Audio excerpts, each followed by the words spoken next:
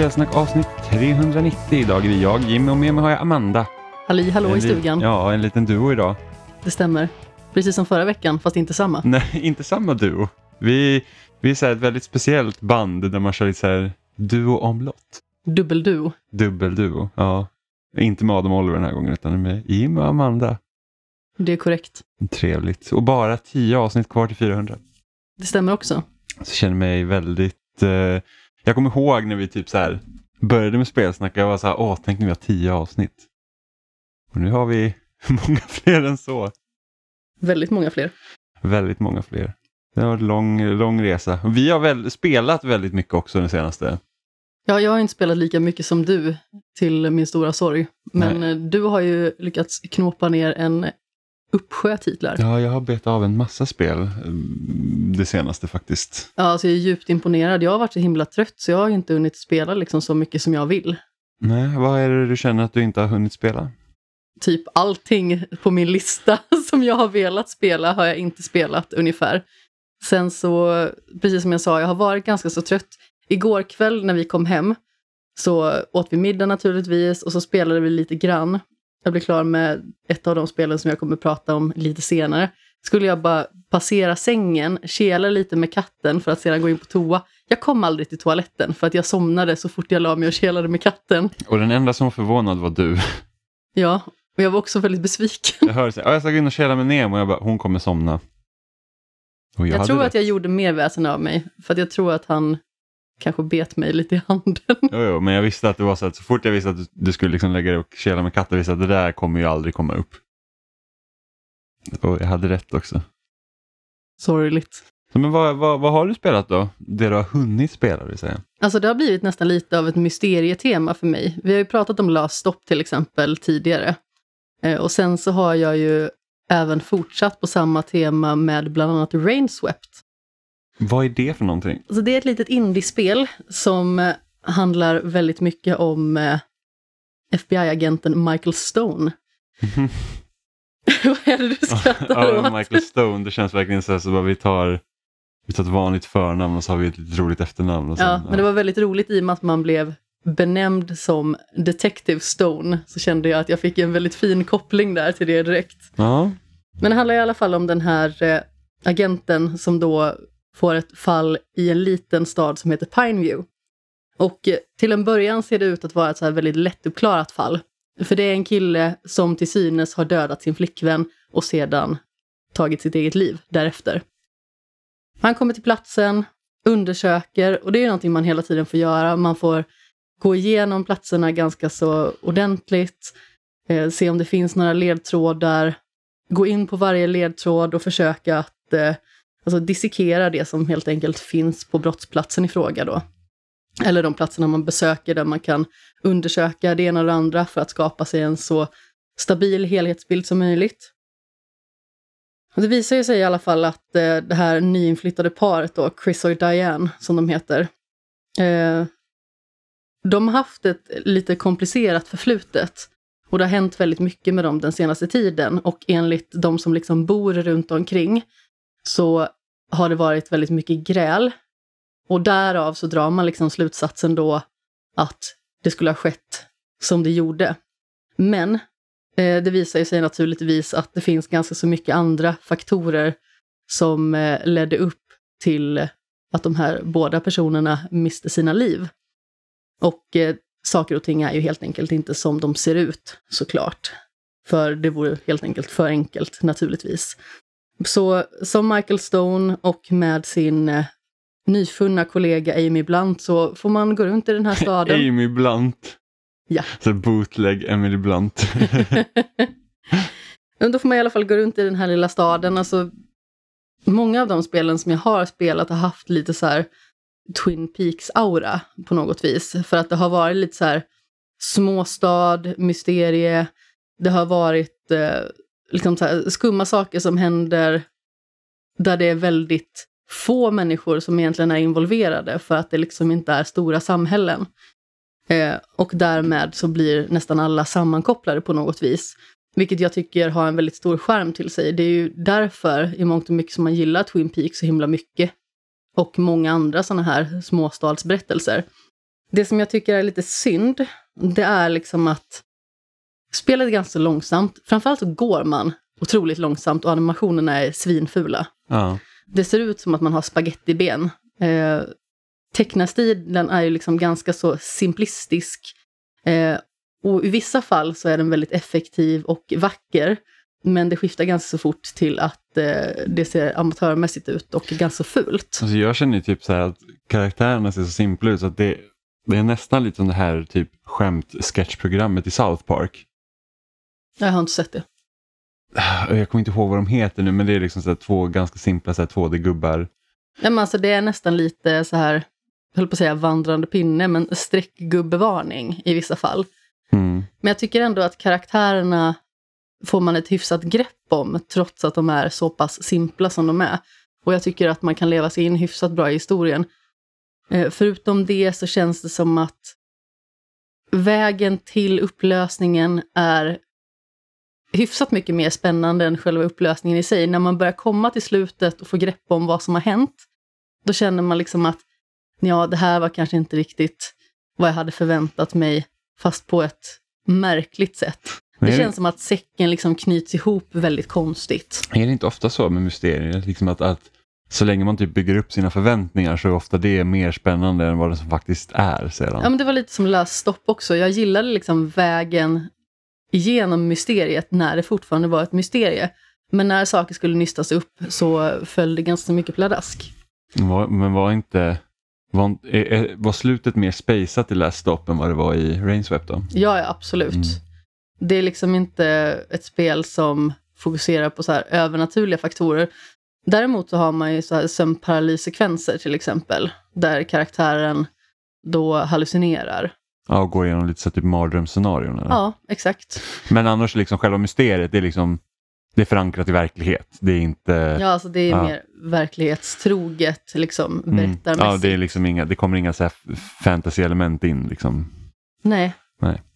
Men som sagt, det var ett hyfsat spel och det var ganska så trevligt. Det är inte så himla långt heller, så är man sugen på en liten så här mysteriemunsbit så absolut, spela igenom det.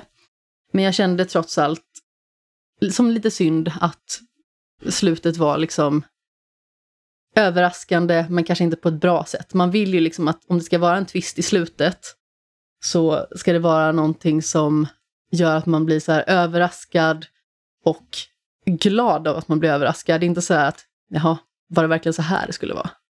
Ja. Så det var lite tråkigt naturligtvis.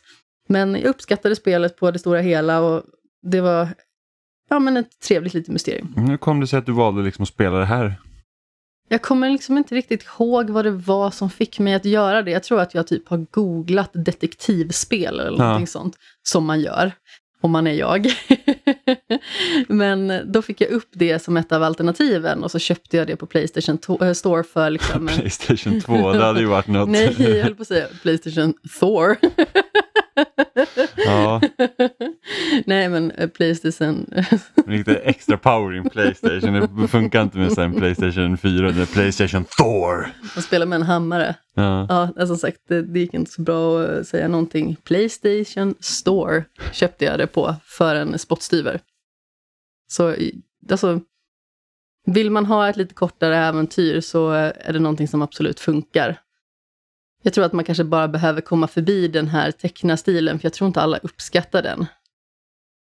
Nej, alltså det ser ju, alltså jag tyckte att det såg rätt så, alltså det ser billigt ut. Alltså det ser ju väldigt rudimentärt ut på många sätt. Men ibland så finns det vyer som är exceptionellt snygga. Ja, ja men typ, det var ganska fin ljussättning i det. Ja, absolut. Mm.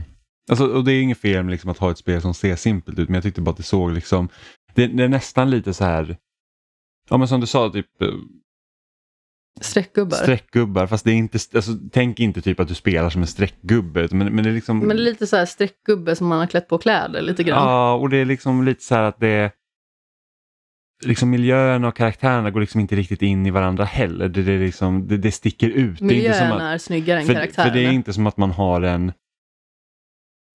Alltså stilen är inte enhetlig Nej, helt och hållet. Utan det, det, liksom, jag det, sa, det blir liksom väldigt märkligt. miljöerna är Mm. mycket mer, om vi säger spektakulära, än karaktärerna i sig. Mm. Som blir lite, ja, små eh, pinngubbar. Mm. Så jag inte, jag har ju också spelat liksom eh, ett mysterium om man säger så. Eh, inte, så där, egentligen där man också liksom får undersöka om vad som. Att jag har ju spelat ett spel som heter Forgotten City. Eh, som också är liksom ett, ett mysterium för dig att, att nysta upp. Som, som går ut på att man liksom är fast i en tidsloop helt enkelt. Eh, och det här spelet från början var en mod till Skyrim som släpptes typ 2015 tror jag. Och nu har de liksom gjort det till ett eget spel. Så att det har ju vissa delar som man känner igen från The Elder Scroll när man liksom när man har konversationer med karaktärer så liksom zoomar in liksom så att man får se liksom du får ju se karaktären liksom rakt framifrån och sen är liksom bakgrunden lite utblurrad, eh, precis som det är i Elder Scrolls. Och sen har man liksom olika konversationsalternativ som man pratar om så man får liksom veta mer om världen man är i. Så att det börjar liksom med att man, man vaknar upp ja, vid, vid, en, vid, en, vid en å och sen så är det en karaktär som har ah, shit, liksom, är det okej? Okay? Eh, jag var med en annan person som liksom gick in i ruinerna där bakom så skulle du kunna hitta honom och så visar det sig att det är liksom, man är i Italien. Så det är någon gammal liksom typ glömd stad där. Eh, och så går man in i de här ruinerna och sen så typ ramlar man igenom en portal och då är, vaknar man upp i 2000 bak i tiden så att man är liksom i en, i en gammal romersk stad. Och den verkar vara liksom helt eh, avgränsad från någon annan eh, liksom, helt avgränsad från civilisationen helt enkelt. Eh, och alla tycker såklart att man ser lite konstig ut eftersom man har, man har ju moderna kläder på sig medan eh, alla de här liksom då lever i romarriket så att säga. Och det visar sig typ att det, det Går runt med typ höftskynken ungefär. Ja, ja men precis, och det är typ två dussin personer som bor Eller vad är det här. de heter? Tågor, heter de det? Ja, jag tror det. Eh, nej, fast det är, det är väl mer grekiskt tror jag. Han Ja. liksom man har... Eh, Fast det är lite liknande stil. Det kanske har ett annat liksom, Ja. romerskt namn då. ja, jag vet inte, men i alla fall. Så man, man, De man, lånar ju mycket från varandra. Ja, man är i alla fall tillbaks eh, i, i tiden då helt enkelt. Eh, och då visar det sig att då det här samhället då styrs enligt någonting som de kallar Golden Rule. Vilket gör att om eh, någon bryter mot deras lagar så, eh, så finns det statyer i den här staden som, som vaknar till liv och sen så ser de till att alla liksom förvandlas till guld genom att de skjuter dem med pilar. Så att alla dör. liksom. Eh, så att det gäller liksom att de lever i ett samhälle där ingen får bryta de här reglerna. Och det är ingen som riktigt vet exakt när the golden rule eh, tickar in. Liksom. Utan de har liksom ansett, ja men inga mord, ingen stöld eh, och så, Självmord var inte okej heller va? tror man. Så att ju mer man börjar nysta i det här så verkar man visa sig att, hmm, man, liksom att the golden rule är inte exakt. För att det, liksom, det visar sig att vissa människor är väldigt snikna och de liksom eh, manipulerar varandra och liksom eh, man eh, utpressar varandra på pengar och, och så. Så man börjar liksom säga att okej, den här the golden rule, det verkar inte riktigt stämma, men då har man en person då som är liksom övermakten som styr över staden och ska se till att allt det här efterlevs. Eh, och anledningen till att du är här nu är för att the golden rule kommer att brytas. Är det av... han eh, bootleg Caesar? Ja, men precis.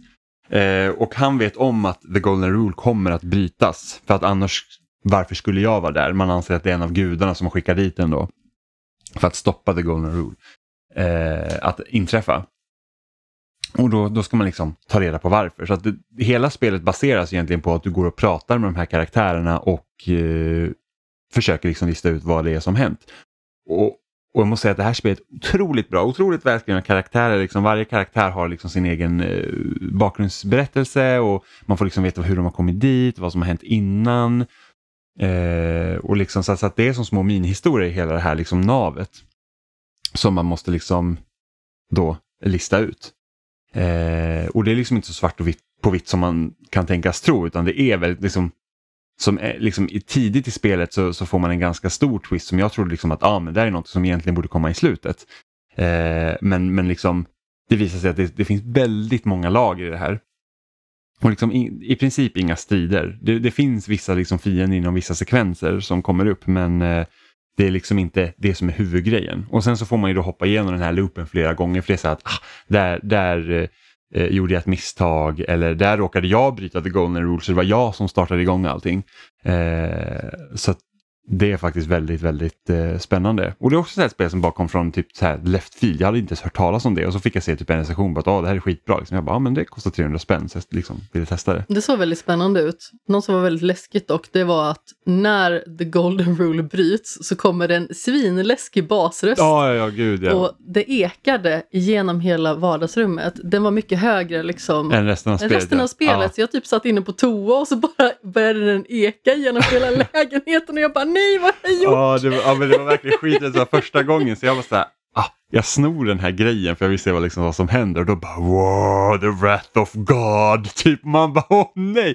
Och då kan man liksom, då får man ju bråttom då för att den här, eh, han som styr staden, då, han säger liksom om the golden rule inträffar då springer vi upp till det här altaret för jag sätter igång en portal som du Ja. måste hoppa igenom så att du liksom, vi kan resetta liksom tids eh, och du är den enda som har, liksom, minnen om vad som händer. Mm. Eh, så får man springa dit. Och det här är något jag tycker man har gjort skitsmart i det här spelet när, när man sätter igång tidsloopen. För tar man till exempel ett spel som eh, Outer Wilds, som jag älskar. Eh, Va? Gör du? Ja, Aldrig hört talas om det innan. spelet. Har du inte spelat Outer Wilds, gå och gör det. Men där är det också så speciellt på en tidsloop att du är liksom i det här stängda solsystemet som gör att var 24 minut, nej 22 minuter tror jag det eh, så resetar allting. Men då kan det också vara så att vissa delar så måste du liksom gå och vänta på att något ska ske för att du ska liksom, okej men nu, nu står stjärnorna i linje och då kan jag göra den här grejen som jag vill göra. Så, att, så att där, där kan det bli ganska mycket väntetid. Och även här kan man ju liksom sätta saker i rullning eh, som får konsekvenser längre fram. Men då varje gång du liksom resetar loopen så finns det en karaktär där som möter dig och så bara hej, oj, vem är du? Och då bara okej, jag har inte tid att förklara, men kan du gå och göra det här, det här, det här, det här? Eh, så saker som du har liksom gjort tidigare, då har du en annan karaktär som gör allt det åt dig så du snabbt kan komma till den eh, delen som du behöver komma till. Så att du liksom, Ah. har du räddat en person från att dö till exempel, då kan du säga åt den här personen, gå och varna den här personen för att inte göra det här, för att annars kommer den personen dö. Jag kan inte förklara för dig varför, men, men gör det bara. Då går han och gör det. Så då behöver inte du tänka på det, så att det liksom blir inte den här Annars är risken att det blir väldigt repetitivt, men det blir det inte. Eh, just för att den här staden är inte stor heller, den är ganska liten. Så att, att, och ha liksom många vrår, så man utnyttjar miljön också väldigt bra. Så att man så här att det är alltid spännande att hitta nya platser. Men det är sen- smart också att göra något sånt här på ett väldigt begränsat ställe. Mm. Att det liksom inte är ett jätteenormt spel. Mm. Och man kan ju också göra det. Outer Wilds är ju, alltså det solsystemet är ju ändå rätt så stort, liksom till skillnad från det här. Och det liksom, jag tror jag spenderade typ 40 timmar i det spelet innan jag liksom hade sett slutet bara för att Ja, men den här planeten, här, här kan jag liksom spendera all min tid på under den här loopen just nu för att det liksom finns så mycket spännande att hitta. Ja, jag tycker ju att det är kanon. Jag hade väldigt mycket problem med styrningen dock. Plus att det var ytterligare ett sånt spel som jag tappade för att jag var tvungen att spela något annat. Mm. Ja, precis. Alltså styra rymdskeppet är ju svårt. Det, det är någonting Det är man verkligen måste komma över. För det är som att styra liksom ett, ett rymdskepp. Eh, så det är inte så här, inte som No Man's Sky, man hoppar in och sen bara, ja, men det, det ska vara lätt att flyga. Utan det är verkligen så att du måste precisionsstyra det här skeppet nu för att kunna liksom klara vissa grejer. Om ni inte hörde Jimmys citationstecken när han gjorde dem så vill jag bara säga att det andra rymdskepp var inom citationstecken. Ja. Så det, det var liksom så här att, alltså, du behöver liksom tänka på gravitationen till planeterna. Och det är liksom e- ett av de häftigaste sakerna jag gjort i ett spel någonsin det var verkligen att sätta mig i rotation runt solen. Och den har så kraftig eh, dragning så att det är så att är man för nära då åker du in och bränns. Så att man måste vara perfekt liksom i linje med den och sen fanns det den här solstationen som jag brukar ofta berätta. Den var så att en av achievementen var att du ska liksom du ska kunna landa på sol, eller liksom du ska kunna skjuta in dig mot solstationen och det är liksom, du kan inte landa med skeppet för att det liksom, de hamnar inte i linje så man måste sätta sig i samma eh, liksom rotation runt solen som den här stationen och sen måste du hoppa och då går det så fort så att du, så, så fort du liksom Eh, så fort du släpper liksom bältet från, från din, liksom, ditt säte då, eh, i ditt skepp, då åker du liksom mot kanten så man dras liksom ut. Så att man måste tajma det rätt så att du kan öppna ditt skepps lucka så att du sugs ut ur ditt skepp och sen kommer liksom exakt i linje med den här stationen så att du kan liksom bursta dig in med, med din dräkt in till det. Och det var, det var verkligen skitsvårt men det lyckades man göra. Eh, så att det, det går ju att göra liksom ett, ett större spel och ha en tidsloop utan några problem men här är det verkligen så att eftersom du får liksom det finns olika liksom så här dungeons och liksom olika hemliga gångar och vissa nycklar och sånt du ska liksom kunna hitta för att kunna låsa upp de här dörrarna. Så, så, så liksom har de ändå använt platsen väldigt Jo, bra. men det är ju så att Outer Worlds, visst det kanske är ett stort spel, men det är liksom inte ett stort spel på samma sätt som faktiska Skyrim till exempel Nej, är ett nej, nej, stort precis. spel. Precis. Eh, och för Forgotten City är ju verkligen så här att de har använt sin tid väl och liksom just det att de slösar inte din, det känns inte jobbigt att börja om en loop. För att det är så att okej okay, jag vet att alla de här grejerna som jag har gjort de, de, liksom, de kan snabbt bli gjorda av någon annan och jag kan gå liksom och, och, fokusera på det jag faktiskt vill göra den här gången. Och sen allt alla föremål du samlar på dig de får du behålla. Så du behöver liksom aldrig, har du hittat en nyckel så behöver du aldrig gå och hämta det igen.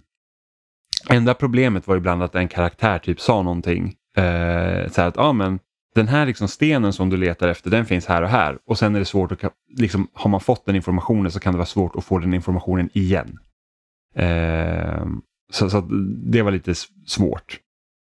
Papper och penna. Mm, precis. Och, och sen en annan sak som var bra, att det är heller inga det är liksom inga så här typ egentligen markörer. Du kan, du får ju quest där du kan liksom säga så här att, ja ah, men hur, vart ska jag gå nu i det här questet? Och så kan den visa dig liksom att den här personen som du ska gå och prata med är här borta just nu. Så man behöver liksom inte springa och leta efter dem. Eh, samtidigt som inte spelet visar exakt vad du ska göra varje gång. Och sen är det så här att man, man, eh, man kan få höra någonting. Och det kanske inte är ett quest och så får du liksom säga, ja ah, men jag hörde att den här personen kan ha det här, då kan du liksom behöva gå dit. Men det, det, är liksom ingen, det är ingen huvudsaklig grej du behöver göra. Så att, det är liksom inte så att du bara går och jag, jagar markörer. Men det var ett otroligt bra spel, otroligt spännande, så jag är väldigt glad att jag fick spela det. Mm, vad härligt. Du har fortsatt och du, du hade spelat mer sådana här eh, mysteriespel? ja, typ. men exakt. Jag fortsätter mitt uh, detektivarbete i Twin Mirror. Det var nämligen så här att i höstas så var det ett spel som jag hade tänkt att spela och det kom liksom upp för recension på loading. Men sedan så rann det typ ut i sanden, tror jag, tyvärr. Eh, och det är ett spel av Dontnod som jag inte alls tycker om speciellt mycket. Men eh, det här såg väldigt spännande ut i och med att det var liksom detektivarbete och sådant som man skulle ställas inför. Och något som jag framförallt haft problem med i Dontnod-spels tidigare är liksom hur det faktiskt ser ut. För jag tycker det liksom är svårt att knyta an till karaktärerna för att jag inte uppskattar den eh, grafiska presentationen. Och här är den betydligt bättre, där lite mer verklighetstroget om man så vill. Någonting som är lite synd, det är att huvudkaraktären framför allt är jättesnygg. Om man säger så. Alltså nu menar jag liksom inte så attraktiv utan han är snyggt designad. Mm. Det är nästan lite så James McAvoy-aura över honom. Ja. Eh, man har liksom fått till det. Men sen så har vi liksom det här att ju längre ifrån huvudkaraktären man kommer i relevans, desto fulare blir karaktärerna och det är liksom väldigt märkbart. Det är någonting som man väldigt sällan ser nu för tiden tycker jag. Alltså visst, man ser ju att det kanske är skillnad på det krutet man har lagt på huvudkaraktären mm. och, och karaktärerna runt. Ofta är det vanligt typ JRPG att, att, liksom, att, att liksom, den här gruppen av människor du spelar som är skitsnygga och sen typ alla så här typ sido-NPCer som, så här, Ser som skräp. slit och slängs i skräp. Alltså det är typ när jag spelar Final Fantasy 10 och nu är det ett 20 år gammalt spel. Så att det liksom, men där var det verkligen så att huvudkaraktärerna var skitsnygga och sen så kom man typ Även viktiga karaktärer för storyn men som bara syntes ibland var ju liksom verkligen så här typ Vad är du för? Alltså det ser nästan ut som här typ den här dockan som så man kan... Vem har fiskat upp dig i en brunn? Typ? Ja, men typ lite så. Eh, och därför så här, det här är en viktig karaktär som ser verkligen ut som bajs. Men det... Ja, men alltså om vi tar till exempel Batman Arkham Asylum som är ett spel som jag typ alltid återkommer till för att det är ett av mina absoluta favoritspel någonsin, så är det ju ett spel som släpptes under Playstation 3-eran. Och jag tror att det var 2009 det släpptes ja. va? Eh, kollar man på det så ser man ju också att Bruce Wayne är ju väldigt snygg men ju längre man kommer ifrån honom, desto större skillnad är det liksom på den grafiska presentationen. Och det är ju många av till exempel vakter och sånt som man pratar med som är yxfula, ja. verkligen.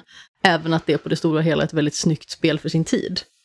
Eh, och det är lite samma grej här. Jag tycker att det är väldigt sällan som sagt nu för tiden att man ser det. Att det är så stor skillnad mellan protagonist och karaktärer som mest är omkring Mm. Eh, men det handlar i alla fall om en eh, man som heter Sam Higgs som kommer från en liten stad, även i det här spelet, eh, som heter Basswood.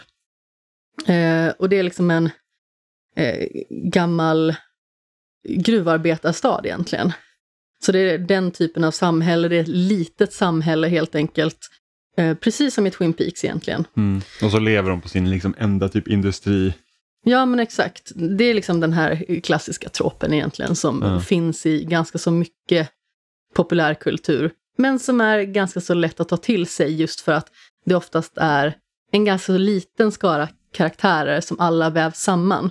Och då är det dels väldigt lätt att få grepp om själva sammanhanget, men det blir också spännande i sitt eget nystande när man hela tiden får veta nya saker om karaktärerna runt omkring. Han är i alla fall en grävande journalist som eh, på grund av en bruten relation helt enkelt lämnar den här småstaden bakom sig. Och i stort sett bröt kontakten med alla som fanns där, även sin liksom bästa kompis vars dotter han är liksom gudfar till. Mm. Eh, bara för att han helt enkelt inte kunde hantera alltså den hjärtesorgen när han lämnade. Han återvänder till den här staden just för att den här bästa kompisen då har omkommit i en trafikolycka. Han har kört av vägen och in i ett träd och bilen fattade eld och han mm. ja, brann till döds helt enkelt. Ja. Han kommer dit för att eh, besöka Vakan eh, efter begravningen och eh, då i alla fall så möter ju han sin eh, guddotter då. Som, eh, ja, hon är väldigt upprörd och känner att eh, hon naturligtvis är sviken och att han har lämnat henne. Men eh, hon vill också att han ska hjälpa henne för att hon tror att det är något mystiskt med att pappan helt enkelt eh, avled så hastigt som han gjorde. För att det verkar som att han var påverkad av någonting. Uh. Eh, och han kör tydligen typ som en farmor, alltså jätteförsiktigt. Han skulle aldrig köra liksom under några influenser av till exempel alkohol eller droger eller liknande. Så det var tydligen väldigt liksom, märkliga omständigheter som gjorde att den här eh, karaktären hade avlidit. Mm. Eh, och naturligtvis i allmänhet så får han ett ganska så kallt mottagande i och med att han hade skrivit en artikel, den här Sam då, om eh, den här liksom gruvindustrin i stan. Vilket gjorde att gruvan stängdes. Och det gjorde också naturligtvis att väldigt många blev arbetslösa. Så folk eh, hade ett ganska ont öga till honom när han liksom klev in i stan igen. Ja. Det här är ett mer spännande spel tycker jag. Mm. Alltså dels så är det lite mer det här att man är en privatperson om man säger så, som gör ett detektivarbete. Det är liksom inte så uppenbart som att man är en eh, FBI-agent liksom, till liksom exempel. Liksom och det är inte hans jobb. Nej, man är liksom inte en del av en större liksom apparat som, som, som liksom att när du får problem så har du någon som backar upp dig till exempel. Mm, Utan det är så här, du, du är så här, jag är helt själv på det här och mm. försöker liksom nysta i det. Mm. Du gör det här liksom på grund av dina privata motivationer snarare än liksom att det här är ditt faktiska uppdrag. Men han gjorde han... inte heller som i egenskap av journalist då eller? Nej. Alltså... Utan han, det är liksom så här, oh, det här är mina det här är mina färdigheter som jag kan använda mig av men det är liksom inte så att jag ska skriva en artikel om det här dödsfallet. Utan nej, det är så att jag, jag är men som sagt, här, han ja. är ju en grävande journalist så han har ju liksom ett väldigt eh, djupgående sätt att se på saker och ting. Men samtidigt så handlar det ju inte om att han ska skriva en artikel om kompisen som gick bort. Utan det finns ju eh, den här personliga aspekten naturligtvis, att han vill veta vad som hände för att det verkar vara under väldigt suspekta omständigheter. Och sen naturligtvis så stöter han ju på sin eh, före detta också, som eh, han lämnade bakom sig eh, just för att eh, ja, men deras förhållande blev inte så himla bra när han höll på med sina artiklar mot slutet, just för att han blev liksom så slukad av sitt arbete att han var nästan till kontaktbar, så hon kände att det inte var hållbart längre. Eh, så man får liksom se en del tillbakablickar också i hur de faktiskt hade det. Även att det blir aldrig liksom överväldigande på något vis. Det blir aldrig liksom att det är fokuset på det sättet, utan man får liksom bara se små fragment av vad det är som har hänt i det förflutna, bara för att man liksom ska kunna lära känna sin karaktär ännu bättre. Mm. Likt Sherlock Holmes har han också ett mind palace, eh, där han liksom resonerar med sig själv i mångt och mycket. Eh, utan att säga för mycket, för att eh, det är en ganska viktig del av spelet. Liksom, ja. Att han har två ganska så distinkta personligheter. Och han har en som han resonerar med inne i sig själv. Men han har liksom också den som han alltid visar utåt. Ja, så därav typ namnet Twin Mirror då? Mm, ja men exakt. Jag tyckte att det här spelet var alltså, väldigt spännande. för att man får eh,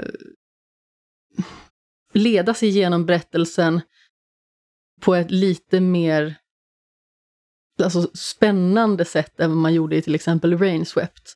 Här handlar det liksom mer om att du aktivt ska söka efter svar. Mm.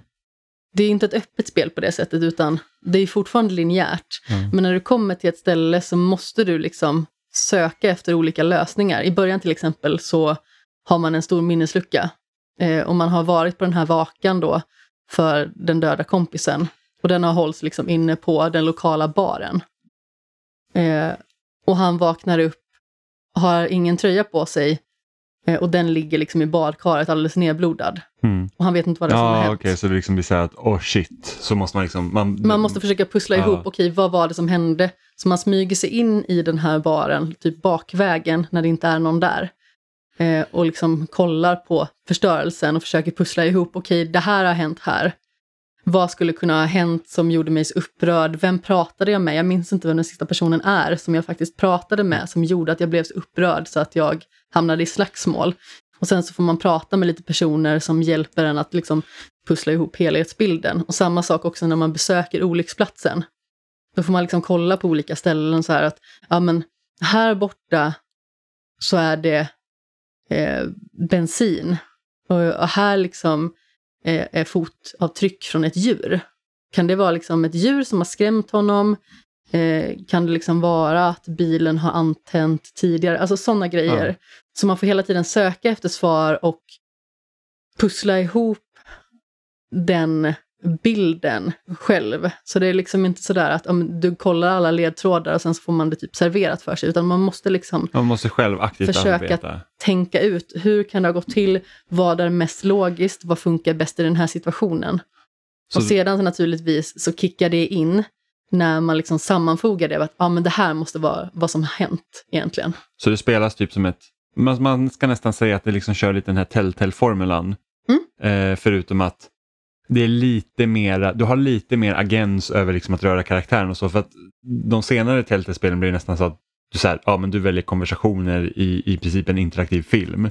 Medan om man tänker typ första säsongen av Walking Dead till exempel, den var ju mer där fick du pussla lite sånt mer. Du liksom rörde, alltså, typ som Life is Strange också spelades. Liksom att Ja. du, du har liksom, det är lite mer öppet, du är inte Ja. lika styrd även om det är liksom konversationer och sånt som är liksom fokus. Ja, men som sagt, det är ju skaparna till Life is Strange också. Så att de har väl liksom den bakgrunden. Däremot är ju inte det här episodbaserat, utan Nej, det är, hela- liksom en, en fullständig berättelse hela spelet igenom.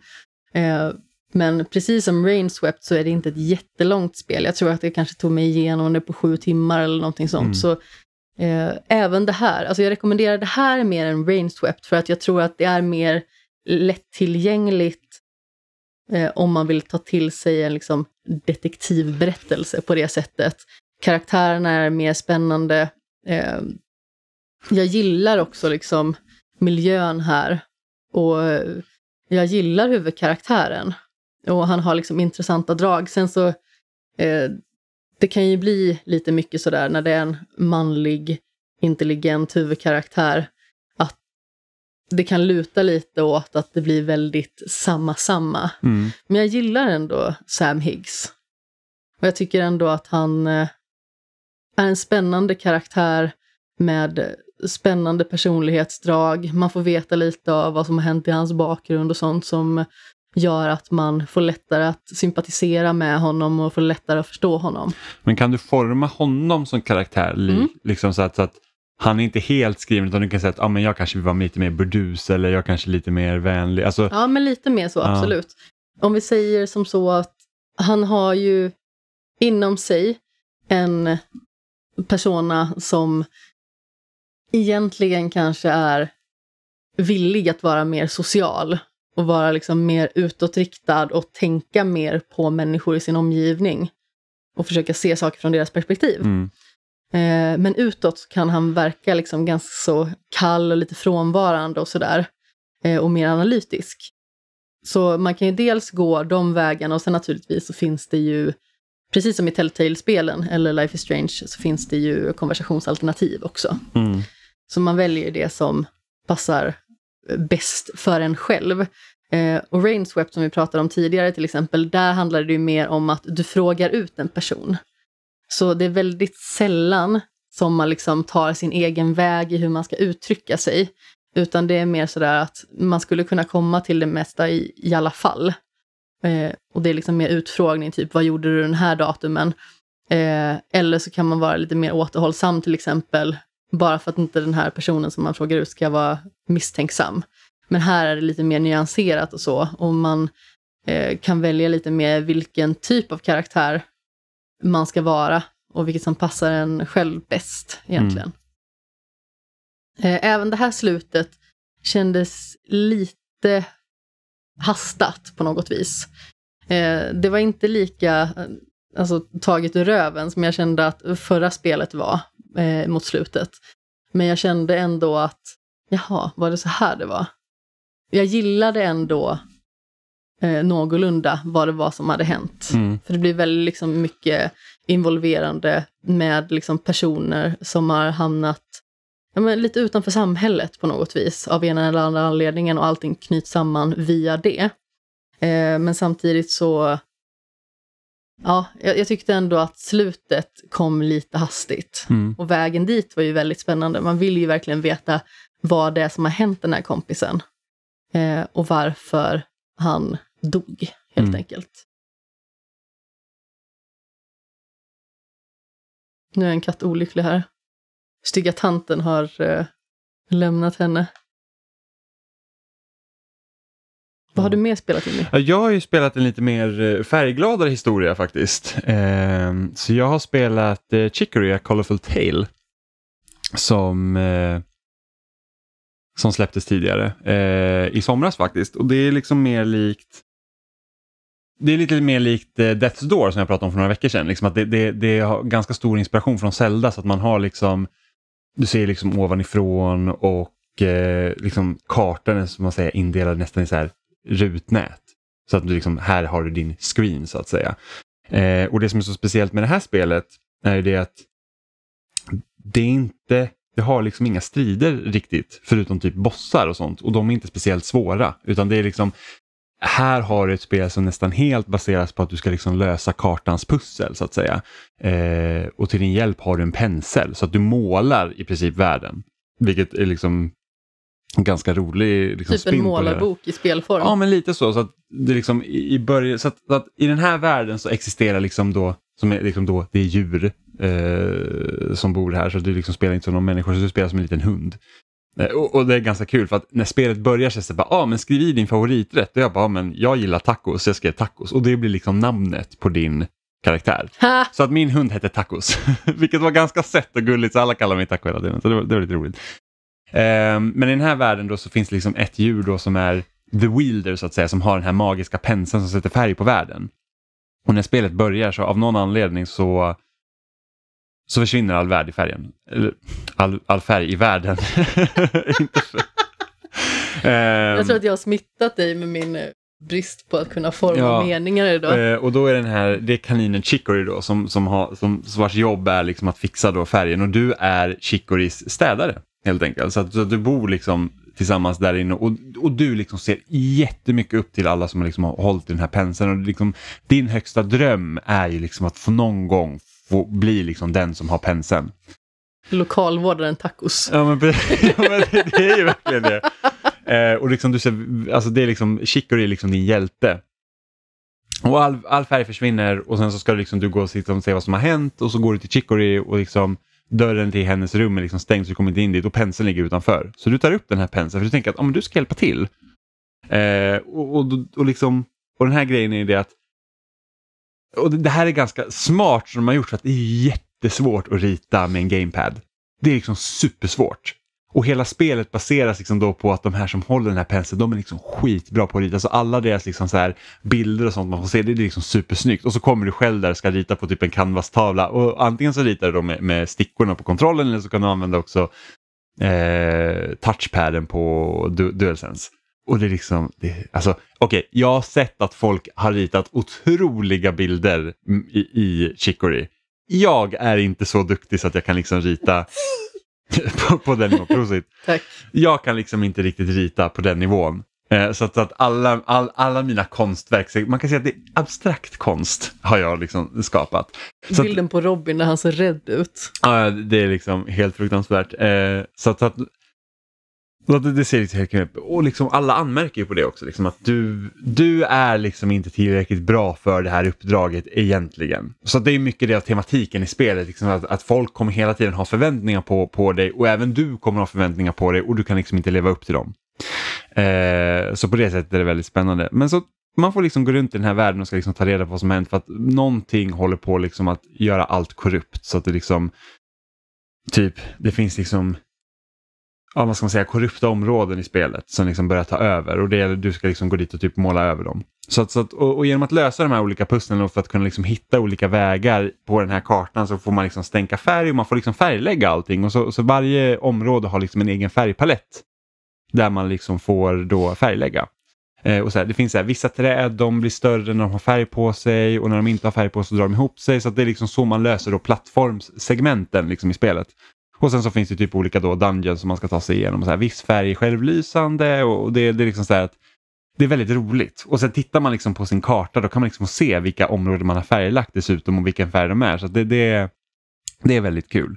Och det här är också ett sånt spel som inte liksom baseras liksom på att ja, du ska gå hit, gå till den här markören, utan du får liksom själv eh, med den informationen du får så får du liksom själv gå vidare. Så det kan vara så att du hör Ja, men du, kan, du kan prata med typ ett lejon och han säger så här, ja, men min bästa kompis bor i den här staden och han liksom saknar den här grejen. Så att eh, det är lite synd att inte han har den. Och det är inte som att du får liksom ett quest att åh, nu ska du hitta den här saken utan du kan liksom bara ramla på den automatiskt och sen så får du gå dit. Så att du behöver liksom inte göra några sidouppdrag alls. Och sen så ibland så kan du råka göra ett sidouppdrag. Så det, det liksom gör att världen också känns mer levande istället för att det är liksom så här att här är checklistan jag ska göra. Så det, det liksom blev ett väldigt trevligt äventyr på det sättet.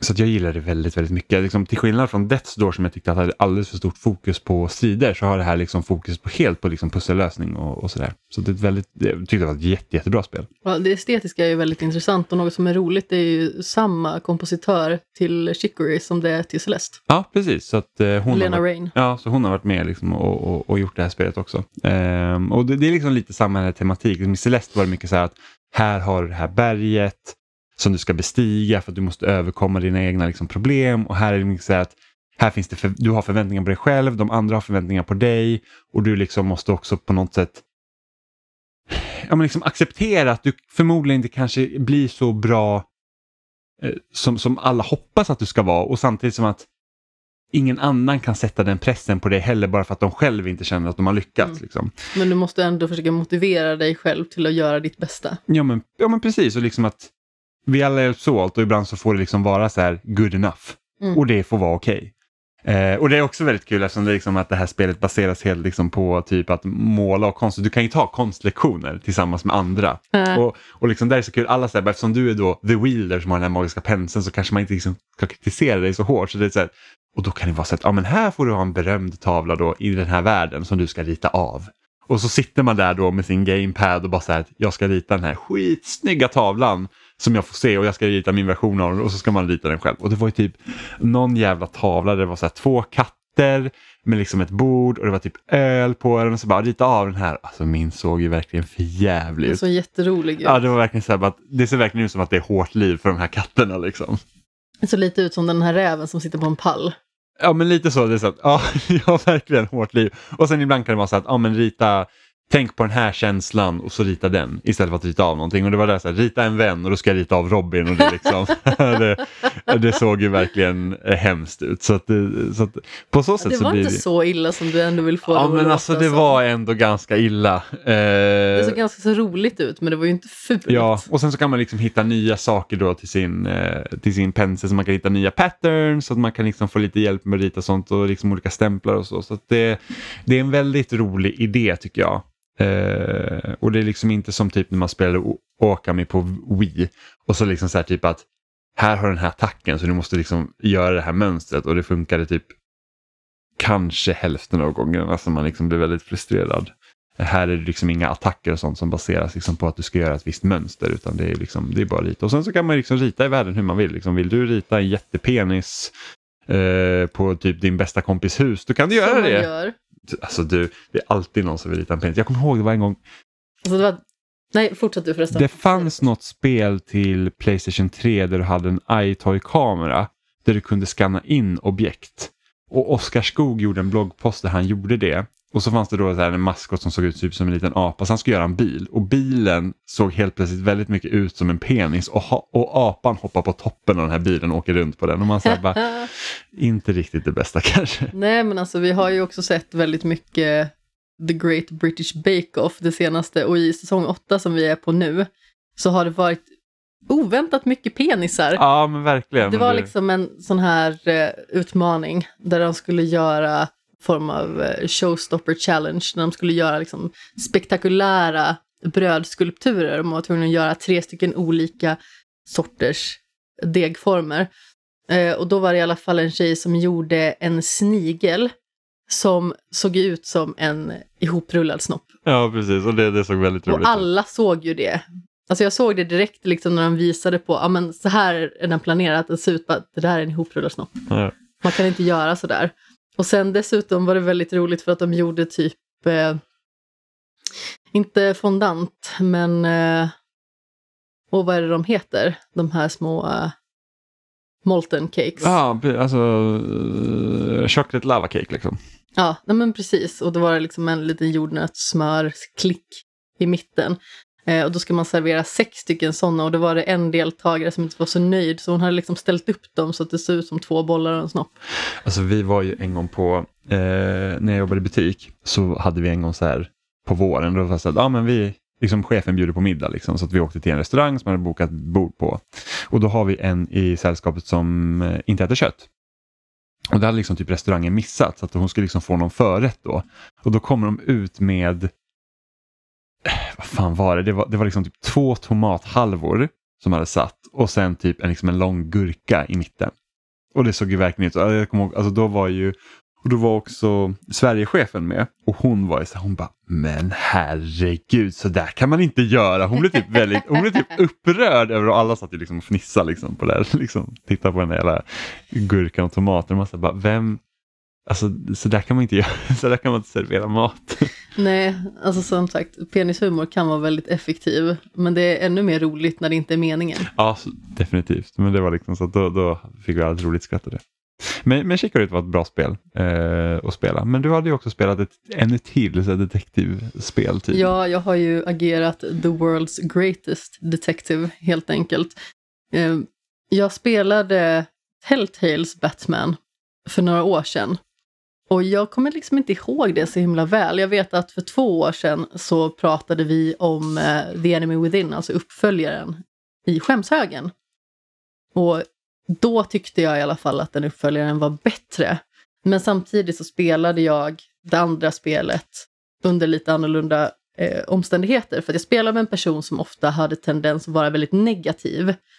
Eh, och sen så, som sagt, jag kommer inte ihåg själva berättelsen så himla väl. Och nu när jag har spelat det så inser jag ju att vissa av de här grejerna hade jag liksom glömt hände här.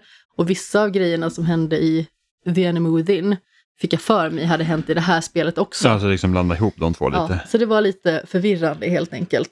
Men man spelar ju helt enkelt naturligtvis som Bruce Wayne respektive Batman. Och i många fall så får man helt enkelt välja om man ska gå till olika situationer som den ena eller den andra versionen av sig själv. Eh, det är ganska klassiskt, man har naturligtvis sin Wayne Mansion, eh, Alfred finns där, Lucius finns där, Gordon finns där och så vidare. I det här fallet så är det liksom någon som börjar sprida massa skrutt om Wayne-familjen. Det kommer upp väldigt mycket obehagliga detaljer till ytan som då rör Thomas Wayne, alltså Bruce Waynes pappa. Eh, massa experiment som utförts på eh, vissa individer eller utpressning och dylikt och att han faktiskt haft vissa kopplingar till eh, ja, kriminella i eh, Gotham. Mm. Det är någonting som jag verkligen gillar liksom med eh, Telltales liksom, version av Batman. Att det är liksom inte riktigt... De, de drar en ganska bra spin på det. Liksom, för, att, Ja. för att man tänker liksom ofta på, och det, är- det är säkert det förmodligen liksom hänt i serietidningar också med tanke Ja, på hur gammal. Batman är. Men, men liksom just det här, så här att så som jag tänker mig att Batman är så liksom, det är alltid så här, Wayne-familjen lyfts alltid upp som liksom, de försökte rädda Gotham och de var så snälla och det var en stor tragedi att de do- dog och liksom, nu blir det så här att det finns en anledning liksom till att de blev skjutna och det var liksom inte för att de var liksom godheten själv utan Nej. för att de, de hade väldigt Ja, pappan var liksom en riktig skurk. ja, men liksom så här smutsiga affärer. Liksom. Mm. Eh, och då får man liksom veta vilka andra skurkar som han faktiskt haft fuffen för sig Mm. med. Eh, och det startar ju naturligtvis en eh, väldigt stor känsla av anti-Wayne i hela Gotham. Ja. Vilket gör att Hashtag anti-Wayne. Ja, men precis. Det gör ju också naturligtvis att andra skurkar kan komma in och ta över och göra läget ännu sämre än vad det redan är. Eh, samtidigt så har vi också Harvey Dent till exempel som eh, kandiderar för att bli borgmästare. Mm. Och till en början så är han väldigt sympatisk, men successivt så börjar han spåra ut mer och mer. Och eh, de skeendena som han ställs inför i spelet gör liksom att eh, hans psyke kan liksom inte hantera allt det och han börjar spåra ur. Mm. Och man vet ju vem Harvey Dent är om man Mm. känner till sin Batman. Men det är lite samma sak som i eh, Insomniac Spiderman. Mm. Liksom att när man... Eh, Du tänker med Dr. Octopus? ja men precis, vi vet ju liksom att vi vet ju liksom att han är en skurk liksom i Spidermans universumet. Men, Mm. men liksom i det spelet så var det liksom inte solklart att han, skulle, bli det.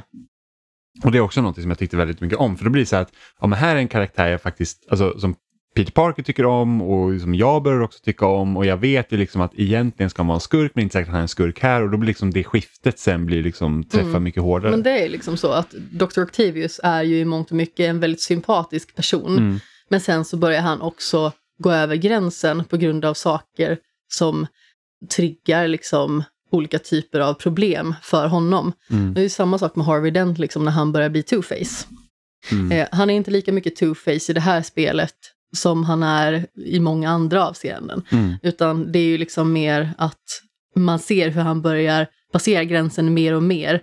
Och att han har liksom sina två personligheter som, som successivt börjar bråka mer och mer med varandra, helt enkelt.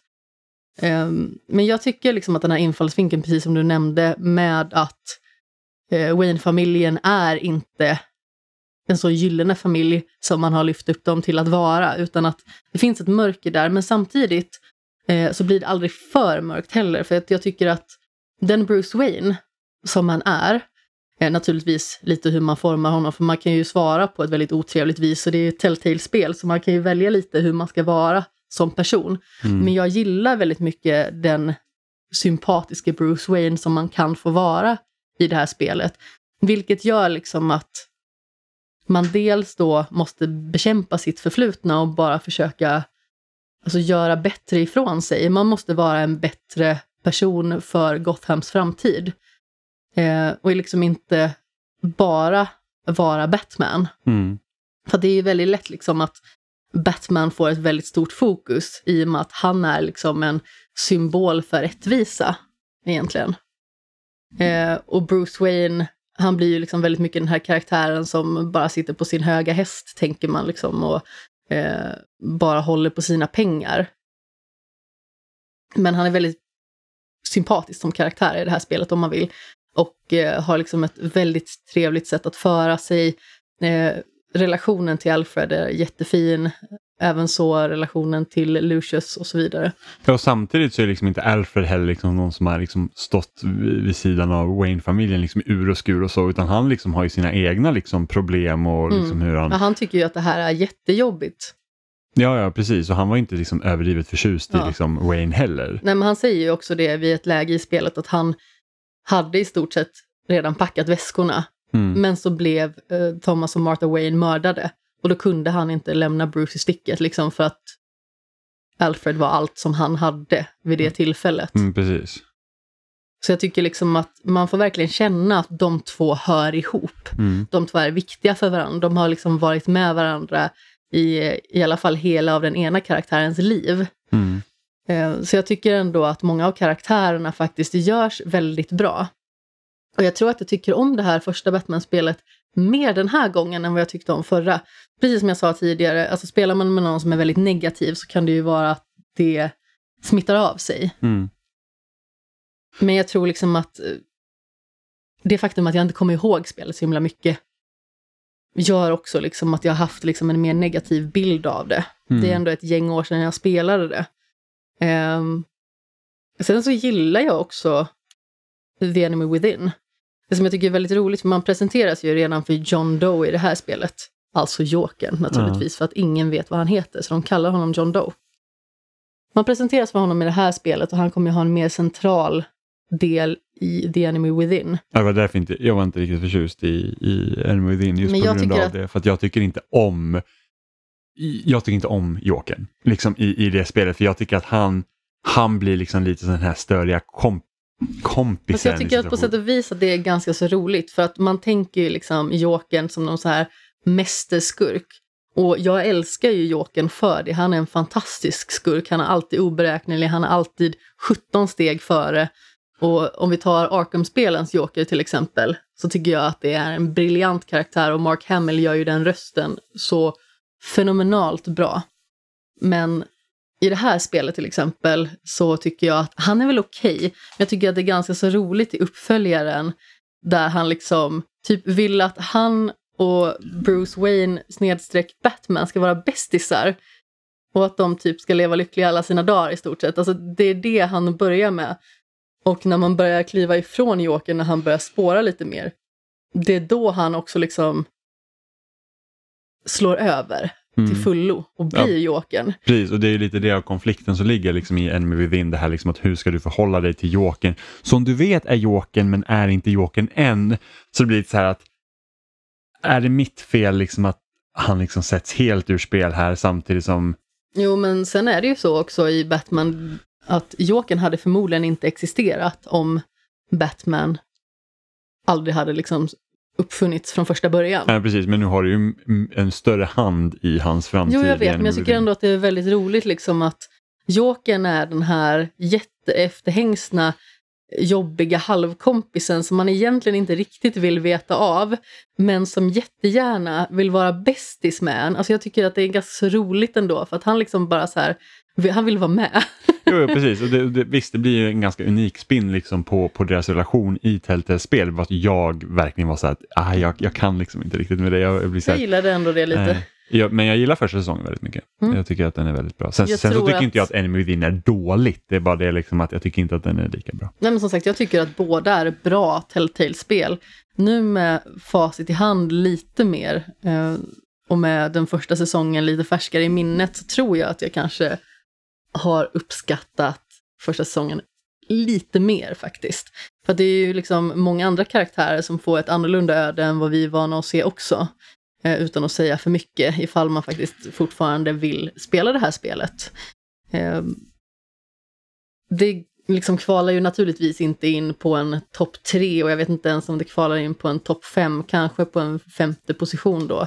För jag är ju liksom ganska så strikt med mina val där. Jag tycker ju att eh, första säsongen av Walking Dead absolut bäst. Sen så har vi Tales from the Borderlands, sen har vi Wolf Among Us. Jag tror att det är andra säsongen av Walking Dead där. Sen kanske Batman kan smyga sig in på en liten eh, eh, sista position där på en topp fem. Men eh, som Men sagt, det är ett bra spel, absolut. Ja, och sen så gillar man Telltale-formulan så är det liksom inga... Mm. Och alltså, gillar man Batman, alltså jag har ju varit sån tidigare, nu är jag inte lika mycket sån, men jag har ju typ konsumerat allt Batman. Älskar Batman, jag tycker att det är en eh, fantastisk superhjälte. eh, Som jag alltid har uppskattat väldigt mycket. Jag blev så himla glad idag när min eh, brorsdotter eh, hade yttrat att eh, hon älskar fla- fladdermöss och att hon är Batgirl. Så eh, eh, min pappa ville att jag skulle rita en liten bild av Batgirl till henne. Så det var väldigt charmigt. Man bara sa, ah, hon går i mina fotspår. Mm. Ja, nej. Alltså jag tror det enda typ Telltale-spelet liksom sen de började då med från Walking Dead och framåt så tror jag att det enda jag inte har spelat är Minecraft eh, då. Mm. Eh, Jag har inte spelat det och jag har inte heller spelat Game of Thrones-spelet som ju ska vara horribelt. Ja, nej, spela inte Game of Thrones. Alltså det var så... Det, alltså, sån stor besvikelse. Jag tror största anledningen till att Game of Thrones liksom, inte blev speciellt bra, det var liksom det för att vi måste knyta an det till tv-serien och då kommer ju liksom, så här, man får ju spela, alltså man får ju möta Jon Snow och Daenerys och Tyrion och sen liksom speciellt när man kommer till Daenerys del för att hon känns inte som Daenerys. Hon känns som en helt annan person. Ja, men det blir ju så himla besynnerligt för där har man ju bara två stycken grejer att förhålla sig till. Har du inte läst böckerna så har du bara tv-serien att förhålla dig till. Har du läst böckerna så har du liksom en version till i ditt huvud. När man har en sån sak som Batman till exempel, då finns det så himla många versioner som har liksom florerat i många årtionden. Så att då är det liksom så här, då kan man lite mer acceptera att okej, okay, det här är inte min Batman, men jag kan liksom bara skjuta den åt sidan. Ja, och de hade ju kunnat, och då, så de kan göra sin egen helt tolkning av Batman. Liksom, Game of Thrones blir liksom det att ah, men det här ska utspela sig i universet av tv-serien. Mm, precis. Eh, och då är det så här att okej, okay, men då kan man liksom heller inte göra du kan liksom inte föra historien framåt på ett visst sätt eftersom den måste förhålla sig till de reglerna istället för att liksom säga att de hade ju helt enkelt kunnat göra en, en, en eh, berättelse som liksom är helt kopplad liksom till det här liksom familjen som man i mångt och mycket fick följa. Det är mycket lättare eh, att göra snedsteg. Precis, men det var så att ja, men vi måste liksom skicka en till Kings Landing och vi måste skicka en liksom till muren och vi måste skicka en liksom över havet så liksom, att man liksom får, får, får de här olika knutpunkterna istället för att liksom säga att nej men koppla bort allt det och låt oss ta den här politiska intrigen med dem här. Eh, så, så, det var lite synd. Och sen hamnade det också på den här liksom, lite grejen så här typ att ja men visst, Ramsey Snow skulle helt plötsligt komma med här och man sa ja vi vet ju att vi inte kommer kunna göra någonting åt honom för att han lever ju i, i tv-serien. Liksom. Mm. Så att hur ska vi liksom, alltså, att han är här det betyder ju bara liksom att det, det, det, är liksom, det är bara dåligt för de här och vi kommer liksom inte, även, så ska de liksom bygga upp sig på att ah, men kanske vi kan knivhugga honom. Man bara okej, okay, men det kommer inte göra någon skillnad för att han kan inte dö. Jag skulle precis säga det, det känns som att man inte kan göra någon faktisk skillnad bara Nej. för att det kommer utspela sig på ett visst sätt och man kommer aldrig kunna förändra historien. Nej, precis. Och, och det blir lite så här typ problematiken med eh... Ja, för du kan inte ha en person som är knuten till en, en, en större karaktär i tv-serien för att om inte den existerar i tv-serien då existerar den liksom inte sen alls. Mm. Eh, så man har liksom ingen påverkan. De som vi har pratat om innan, vi har ju liksom eh, Tales, vi har eh, Walking Dead, vi har Wolf Among Us. De, de är liksom väldigt mycket sina egna berättelser, även Batman också. Mm. Även att det liksom befinner sig i ett universum som man känner till. Jag menar, Walking Dead har ju 71 säsonger tv-serier, men det är andra karaktärer som är med. Mm. Eh, och man behöver liksom inte förhålla sig till dem. Eh, Wolf Among Us är ju baserat på en serietidning. Eh, Tales from the Borderlands är ju baserat på universet där Borderlands utspelar sig. Mm. Så det är ju liksom lätt lättare att göra sin egen grej av det och jag tror att det är därför de spelen har liksom blivit så effektiva och så bra. Mm. Jag menar, jag gillar inte Borderlands, jag fastnade aldrig för det, men jag älskar Tales from the Borderlands för att jag tycker att det är en fantastisk tolkning. Mm. Även The Walking Dead, jag kunde inte bry mig mindre om den tv-serien. Jag har sett typ två avsnitt och var så enormt oinvesterad så att det finns inte. Ja, men jag, det var ju så att jag började ju se Walking Dead, eh, tv-serien, och och jag tyckte verkligen att första avsnittet var helt fantastiskt. Jag alltså, tyckte det var lite för segt och långt. Ja, det var därför jag tyckte om det. Det var liksom att här får man ta tid, vi får liksom följa Rick och liksom det, det, det är liksom, de, det hade... Är det han, uh, What's His Face-killen från Love actually? Ja, men precis. Uh, det är han som är huvudserien. Så att han, eller huvudserien, det är han som är huvudkaraktären. Gud. Eh, och, och jag verkligen älskade det först. Jag var så här, wow, det här är verkligen liksom en zombie-serie som jag kan liksom ställa mig bakom. Liksom att gud vad bra den är. Och sen så efter det så gick det ju mer eller mindre ut för liksom, Jag tyckte inte att den aldrig liksom, och sen så följde den ändå typ i sex säsonger tror jag. Och sen så var Såklart så här, du gjorde, ja, men för du kan här, inte hålla dig. Nej, men det var så, och, och anledningen till att jag inte var så här otroligt förtjust i eh, tv-serien sen, så det var så här att nej men jag bryr mig liksom inte om spelet. För att jag liksom bryr mig inte om The Walking Dead. Och sen så var det Oliver som hade spelat första, eh, första episoden. Han bara, ah, men jag tror nog att du skulle kunna gilla det. Och då spelade jag första episoden och jag sa att ja, men det, det, var liksom, det var helt okej. Okay, och det så här, kostar typ 50 spänn per episod då. Så jag var så här, ja men fine. Det kan jag betala och för att se liksom, uh, vad det här mynnar ut. Och det var efter den andra episoden jag var så här att okej, okay, det här kommer nosa liksom på årets spel för att jag känner att det är så bra. Och eh, det var ju så bra sen. Det är ju verkligen det. Mm. Och jag tror att jag kände i näst sista och sista episoden, alltså man var ju så uppe i varv och så förstörd Liksom jag var, alltså, slutet, jag visste inte vad jag skulle ta vägen. Slutet av episod fyra var verkligen så att det är liksom, alltså visst att saker och ting kan hända i sista episoden, men liksom att redan i, när de liksom sätter liksom etablera någonting så förödande. Ja, i episod 4 liksom för den karaktären man spelar som, då var det bara så här att jag vet inte hur jag ska orka med det här. Liksom. Det är helt, helt fantastiskt var det Och verkligen. så sagt den absoluta avslutningen. Jag har aldrig gråtit så hårt i ett spel någonsin. Nej, men det, var, det var verkligen hemskt. Det, det var så hemskt och, och, och det bästa liksom också med hur det var då i, i första säsongen av Walking Dead, för att det var när de liksom testade den här, liksom, hela den här formulan med hur, liksom, valen, hur de ska liksom agera efter det, det var liksom att det kändes verkligen som att det spelade så stor roll. Att man Mm. liksom verkligen gjorde skillnad och liksom det, det, det, det blev liksom inte liksom bara liksom på repeat sen, som Mm. det kunde kännas. Ja, men alltså som sagt, det absolut sista valet i spelet. Eh, det känns som att även att det kanske inte gör så jättestor skillnad framöver, så känns det som att det internt gör väldigt mycket för karaktären och en själv. Eh, vem man vill vara, hur man resonerar och alltså jag bröt ju ihop så jäkla hårt där. Jag såg liksom ut som insidan av en vattenmelon i ansiktet. Mm. Ja, det, ja, det var verkligen... Minus kärnorna. Ja, det var, ja, det var fruktansvärt var det. det. Väldigt bra. Och jag kommer ihåg att jag var så himla upprörd på när det var typ eh, Video Game Awards då. Jag vet inte om det hette Video Game Awards då. Det kan vara Spikes eh, någonting, någonting. Det var liksom mer eh, när det ofta var så här larviga segment. Men då, då kommer jag ihåg, då var det typ Game Informers eh, Editor in Chief. Tror jag det var.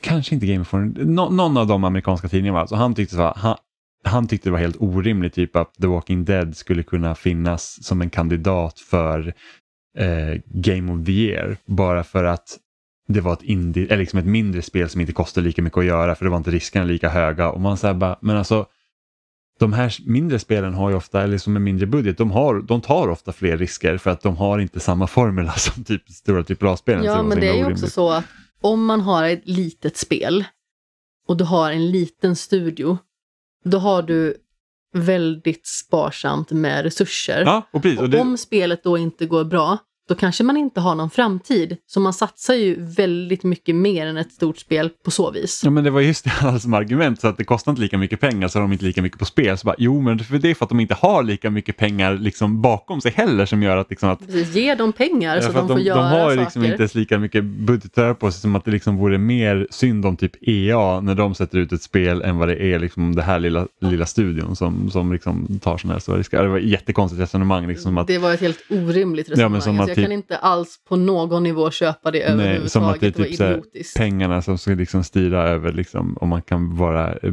årets bästa spelare inte. Så det här, pengarna styr typ allt annat i alla fall. Kan det inte Ja. finnas någonting där de inte gör det lika mycket? Ja, det, ja, det var jättekonstigt verkligen. Ehm, så att eh, väl, väldigt, väldigt märkligt.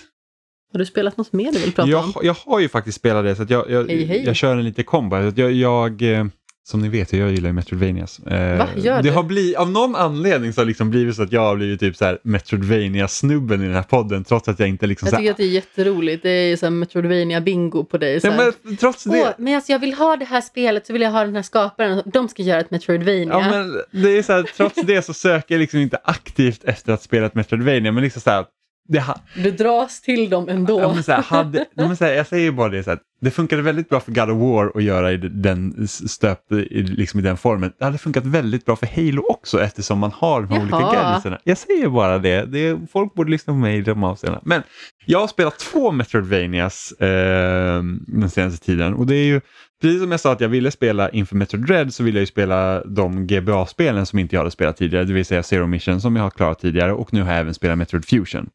Och sen har jag även spelat Axiom Verge 2 som, som liksom shadow-droppade i veckan. Eh, Shadow drop låter som något helt annat. ja, men, om, man, om man är lagd. Baj- Bajsa bakom busken Om man- om man är lagd åt det hållet, som du tydligen är. Jag Eh, är inte lagd åt något håll. ty, li, li, lite bajserihållet åt dig. Vi alla minns ju falbajs. Det var inte meningen. Nej, men... jag älskar eh, liksom att man varje gång vi ska styra- spela med man- Stefan så skickar han typ en poop emoji Ja, bara men- för det. Nej men alltså man, man kan inte bestämma hur man är lagd. Så det, det är bara ju så. Eh, men jag har i alla fall spelat Metroid Fusion och Axiom Verge 2. Eh, och jag kan börja med Metroid Fusion då som, eh, som jag har hört liksom så här, åh men det är typ det bästa Metroid och det är bättre än Super Metroid liksom. Eh, och det är liksom så eh, alla de liksom 2D Metroid borde vara stöpta efter. Och jag säger att Jag tycker nog inte att Metroid Fusion är bättre än varken Super Metroid eller Zero Mission. Vilket är ditt favorit Metroid-spel? Glöm allt jag sa Metroid Prime va? Metroid Prime är mitt favorit Metroid-spel. Eh, men liksom av jag två... insåg den brainfarten samtidigt som jag sa det. ja, men, men av de två The Metroid som jag spelat, vilket är nu liksom, jag har spelat Zero Mission, jag har spelat Fusion, eh, jag har spelat eh, Samus Returns, remaken då. Och jag tror nästan att jag tycker Zero Mission är bäst. Men jag, jag, jag, är inte riktigt lika säker för jag är inte lika, eftersom jag liksom spelar dem på rad efter varandra, liksom jag inte spelar dem när de kom och de liksom har inte riktigt det här samma liksom typ kulturella värdet för mig som för många andra som typ, ja men det finns bara ett bra Metroidvania och det är Super Metroid och inget spel har slagit det någonsin liksom. Så att jag, jag kan liksom inte riktigt svara på det eftersom jag har liksom inte jag kan inte säga att jag liksom riktigt tagit mig den tiden att hitta typ 100% utan jag har liksom mer spelat dem för att klara dem och då, blir, då får man lite annan relation till dem tycker jag. Eh, Super Metroid ligger ju stenhårt i min skämshög och jag har velat spela det så himla länge. Jag försökte spela det ihop med en kompis men så som jag ofta gör så råkade jag eh, somna. Eh, vilket känns som att det är lite återkommande tema. Ja, jag somnade ju samtidigt som jag spelade här om kvällen också. Ja, det gjorde du. Nu spelar Batman. Så du bara, men jag ska spela Batman och du är så trött att du kommer somna. Nej, men jag vill spela, starta Batman. Jag var tvungen att ja, ladda ner episoden. Ja, du behövde ladda ner episoden, men här, jag får se den första kattsinen och Amanda sitter och sover och sen så blir det en pausskärm och så sitter hon där med kontrollen i famnen och med öppen mun och bara så här, död. I princip. eh, men men eh, Metro Fusion skiljer sig lite liksom från både Zero Mission och Super Metroid i det att det är liksom mer styrt. Det är liksom det finns ett, ett tydligare narrativ och du liksom blir mer styrd på, mm, på ett helt annat sätt genom att du alltid får veta vart du ska för du är på den här rymdstationen och vars delar öppnas liksom lite efter, eh, eftersom. Och då, är så här, då har du liksom en AI som säger till dig att nu ska du hit och sen så får man liksom ta sig dit på något sätt. Eh, och det gör ju liksom att man, man liksom, risken för att gå vilse är betydligt mindre. Eh, det jag inte gillar med Metroid Fusion är ju hur man ofta när man kommer till ett rum och säger jag vet inte riktigt hur jag ska liksom komma härifrån. Eller liksom så här, vad är det jag ska göra här inne? För liksom, hur kommer man ut? Ja, men lite så. eh, för det är liksom så här, det, det, ser inte ut som att man kommer någonstans. Eh, och det är just det här att oh, då finns det en pixel här du ska spränga eller använda några förmågor på och det liksom, det liksom syns inte. Utan det är någonting, du får, då blir det så här att ofta blir det en lek av att spränga allt du ser så att man liksom ska kunna komma ut någonstans. Fan hårt liv att spränga en pixel. Ja, ja men det är liksom att här är rutan du ska spränga med en bomb. Eller med en missil. Eller, eller komma med dina typ superspring snabbskor och hoppa igenom. Och då blir det lite så här att det är inte jätteroligt ärligt talat. Och så var ju typ första Metroid också. Liksom att, att många gånger när du skulle välja, då fanns det liksom, här är ett block du ska spränga. Men det är, det är liksom, det får du lista ut själv. Det är inte som att man ser den här pixeln ha liksom ett, ett block av lite det krackelerar lite så vet du att du ska spränga utan det är verkligen så att du får testa dig fram. Och lite så är Metroid Fusion och det är det jag inte känner liksom riktigt att jag tycker om. Sen så är det ganska spännande det här med att du blir jagad av den här parasiten liksom som, som ser ut som liksom en, en som dig själv i liksom när, när du har maxat allting. Eh, och då, då kan det bli lite stressigt i de sekvenser när man blir jagad och då får man liksom försöka. Ja, du skrek rakt ut några gånger. ja, men det var skitläskigt det kommer så här dunk, dunk och så här, typ tar allt liv på en. Och, så hör man någon falsett lite till höger om en. Ja. och, och vissa av de delarna är rätt så dumma för att det är så att eftersom man hamnar i situationer där det är så att det ibland är det bara tur att man klarar sig eh, Eh, och att man inte får börja om. Sen är det bra så här, när man spelar de här eh, spelen via Virtual Console på Wii U, det är att du kan sätta egna save states vilket gör också att det underlättar en hel del och mycket av frustrationen försvinner för att vissa av bossarna tycker också är så här skitdåliga.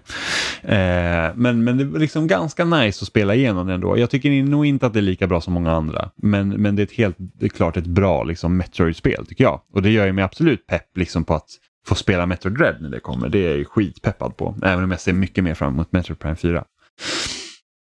Um, och sen, sen är det också att det finns ju lite så dumma grejer som de liksom kastar bort. De har den här Adam då som har varit någon överordnad till Samus och typ så här någon som hon ser typ upp till. Och då är det typ så här och jag, jag, tror att han var med även i det här Metroid Other M som är typ det bespottade spelet i serien. Liksom, att det är liksom helt absurda. Liksom... Det som kostar typ så 40 spänn på ja, varje reaback ja, någonsin. Ja men precis och sen finns de här typ liksom så här otroligt så här sexistiska grejerna. Och även här är det lite så det är typ så bara, ah men Adam kallade mig lady. Men det var inte liksom dålig grej att han kallade mig lady för att det gjorde att jag kände mig bra typ. Och man säger nej alltså det passar inte riktigt in va.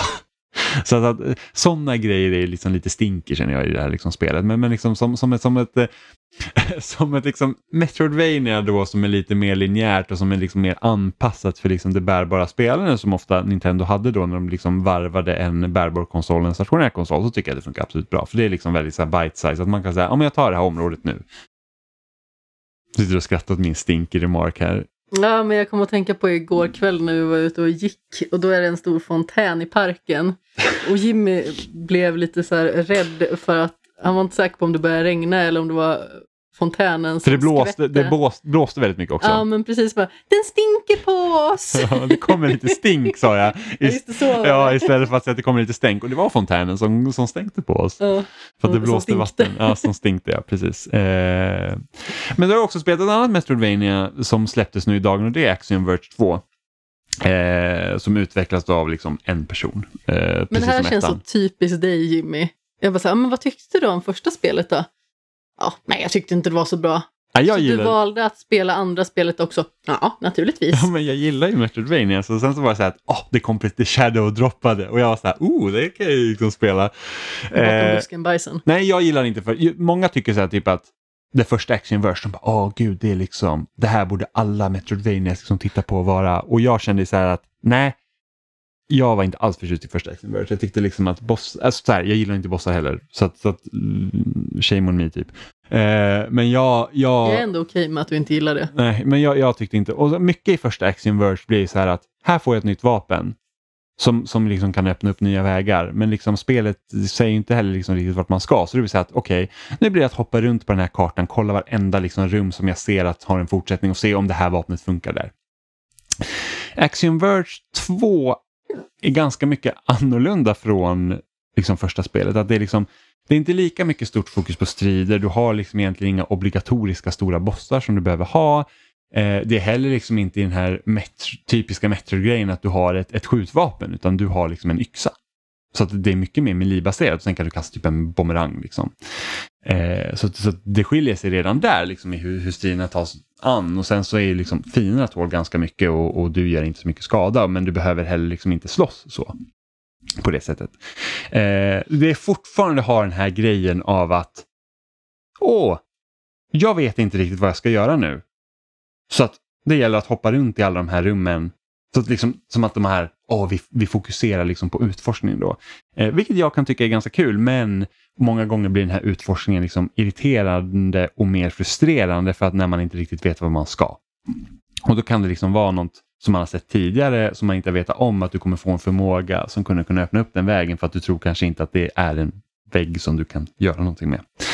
Vilket blir väldigt störande. Men här har du ju dock objective markers. Det säger till, här har du två stycken intressanta punkter som du ska besöka och så får du liksom lista ut hur du ska komma dit. Problemet blir dock när att för att komma dit så bör du ha en förmåga som du hittar någon helt annanstans och den har ingen objective markers på sig. Så då blir det väldigt frustrerande. Alltså jag, ibland kan det vara typ så här, ah, men nu har jag spelat en timme och jag har inte gjort några framsteg för att jag inte riktigt vet vad jag ska göra. Och sen finns det folk som typ, ah, jag klarar det på fyra timmar och man så här, hur fungerar din hjärna så att du bara förstod att du skulle dit? så att, att för mig blir det liksom så här att, Vissa bara har det. ja. Och de gör en lite förbannad faktiskt. Ja, och så för Just det, mig, Stefan. Ja, precis. Stefan. Ste, Ste, Stefan som, han har inte ens startat Axiom Verse 2. men Han har redan klarat Han har det. förmodligen klarat det redan. eh, så, så, så då blir det bara liksom så här att för mig är inte den typen av liksom exploration rolig. Liksom, jag kan gärna vara så här att jag kan själv av egen vilja liksom vilja kolla de här olika ställena. Men jag ska ändå kunna välja så att ah, men nu vill jag gå typ på main objective och då kan jag liksom göra det utan att jag behöver liksom kastas runt över allting. Ja, jag kommer att tänka på det apropå det här med Stefans eh, förmåga att klara svåra spel och få Mm. det att se lätt ut. Liksom. Eh, vi pratade lite löst om Hades i chatten för det har ju släppts nu på Xbox och Playstation 5. Mm. Eh, och jag spelar ju om det och du kommer också spela om det. Kan, ja. Det är liksom ett gäng som förmodligen kommer att spela om det och Stefan ska spela det för första gången. Och då var det typ Martin som sa någonting liksom att det kommer bara vara en parkpromenad i stort sett. Eh, Då kontrar jag liksom med att jag tänker mig att det är som så att när Stefan kommer till Hades så kommer Hades bli rädd för Stefan. Precis. Han bara jag tänker mig att det är så. Han bara, åh nej, du behöver inte ta mig heller tio gånger, jag ger dig Helvetet är ditt, Ja, jag ger precis. mig, jag går härifrån, går i pension, åker till något ställe som också är varmt. Ja, och där har man ju också så här typ att hur spelar Stefan då? Är han liksom så här försiktig liksom när han spelar spel då, det är därför han inte dör, eller är han liksom bara naturligt bra? Och det är bara så här, Stefan är bara naturligt bra. För det är typ så här, ja men hur, hur så här, som Returnal var ju en grej, så här, typ själv har man typ så här, kommit upp i så här, 15 timmar och typ dött 50 gånger och bara så här, ah, det är så svårt emellanåt. Alltså jag har dött 70 gånger att bara kolla på spelet. Ja, ja men precis, eller typ så här när det var eh, Cuphead som jag dog typ så här 800 gånger och Stefan bara, ja men jag dog typ 25. Och man bara, Vem är du? hur kom du ens genom draken utan att typ dö 300 gånger? Ehm, men Stefan bara säger nej, jag, jag, jag kör för Sverige varje gång. Så han typ bara ger sig in i smeten och typ dödar allting och man säger bara Ja, kul. Det är verkligen exakt Kul. att säga, Stefan, hur spelar du egentligen? Ah, för Sverige. Ja, för Sverige liksom. Det är så här bara, för kung och fosterland, jag ger mig in med lans i hand liksom. Så det, man bara okej. Ehm, Vi ska inte vara retfulla. nej, men Stefan är väldigt bra på spel. Ja, fantastisk. Eh, så så det, det, det var ju liksom så här. Och sen när jag spelade Action Verge då blir det så här att när, när, det, det är lite som att räkna matte. När det är svårt, då kan det vara pest och pina. När det flyter på, då kan det vara det roligaste som finns. Så att även om, nu är jag, jag har snart spelat tvåan nu i tio timmar, varav typ kanske sen 30 procent av dem är typ att jag går runt och typ kliar mig själv i huvudet och så här, jag vet inte fan vad jag ska göra. Sen så har det ju så här typ att det är liksom inte, efter, eftersom det heller inte liksom riktigt baseras på skjutvapen så är också förmågorna är ju lite liksom annorlunda också. Så det kan vara typ så att ah, men du kan typ bli ett stort moln av pixlar och så spränger du stenar runt omkring dig och, eller du kan förvandla dig till en liten robot. För det är också en grej i det här spelet att, att du har en robot, en liten här spindelrobot som kan ta sig in i så här olika portaler. Och då blir det som att det är liksom två kartor ovanpå varandra. Så att det är liksom två dimensioner av en värld som du liksom kan gå mellan och, och hoppa runt i. Och då blir det så att beroende på var de här portalerna finns så kan man också komma ut på olika delar av kartan. Och då baseras ju också vissa pussel av det eh, där det är så att du behöver hitta en spe specifik punkt eh, i den här alternativa världen som gör att du kan komma in i ett rum som du kan, annars kanske inte hade kommit runt i. Och nu har jag när jag har kommit liksom en bit i världen så att det här liksom bytet har blivit lite mer friare, det gör det också att pusslarna inte känns li lika knivskarp om man säger så, utan det, jag tror att jag kom, av att jag råkade dö igår så kom jag till ett ställe som jag inte hade varit på förut. Och jag tror att jag råkade komma dit. Och jag var så här, ska jag bara stänga av spelet nu så att jag inte är på en plats där jag inte ska vara så att inte jag fuckar upp någonting att jag inte kommer kunna komma härifrån sen eller ska jag bara köra på? Och jag har bara kört på och hoppas på det bästa. Eh, för det är också någonting med det här spelet att jag har kommit till en punkt några gånger där jag inte kommer därifrån. För att jag har gått till ställe jag inte ska. Och det är inte meningen att jag ska vara där. Så då har jag behövt starta om spelet så att jag hamnar någon annanstans. Åh, vad irriterande. Vilket är skit. Det är så här bara, nu står jag och hoppar upp här, jag kommer inte upp på den här kanten för jag behöver ha någonting annat förmodligen. Eh, och, och, och jag tycker verkligen inte om den här delen när man hamnar i ett ställe där man är så här att "S-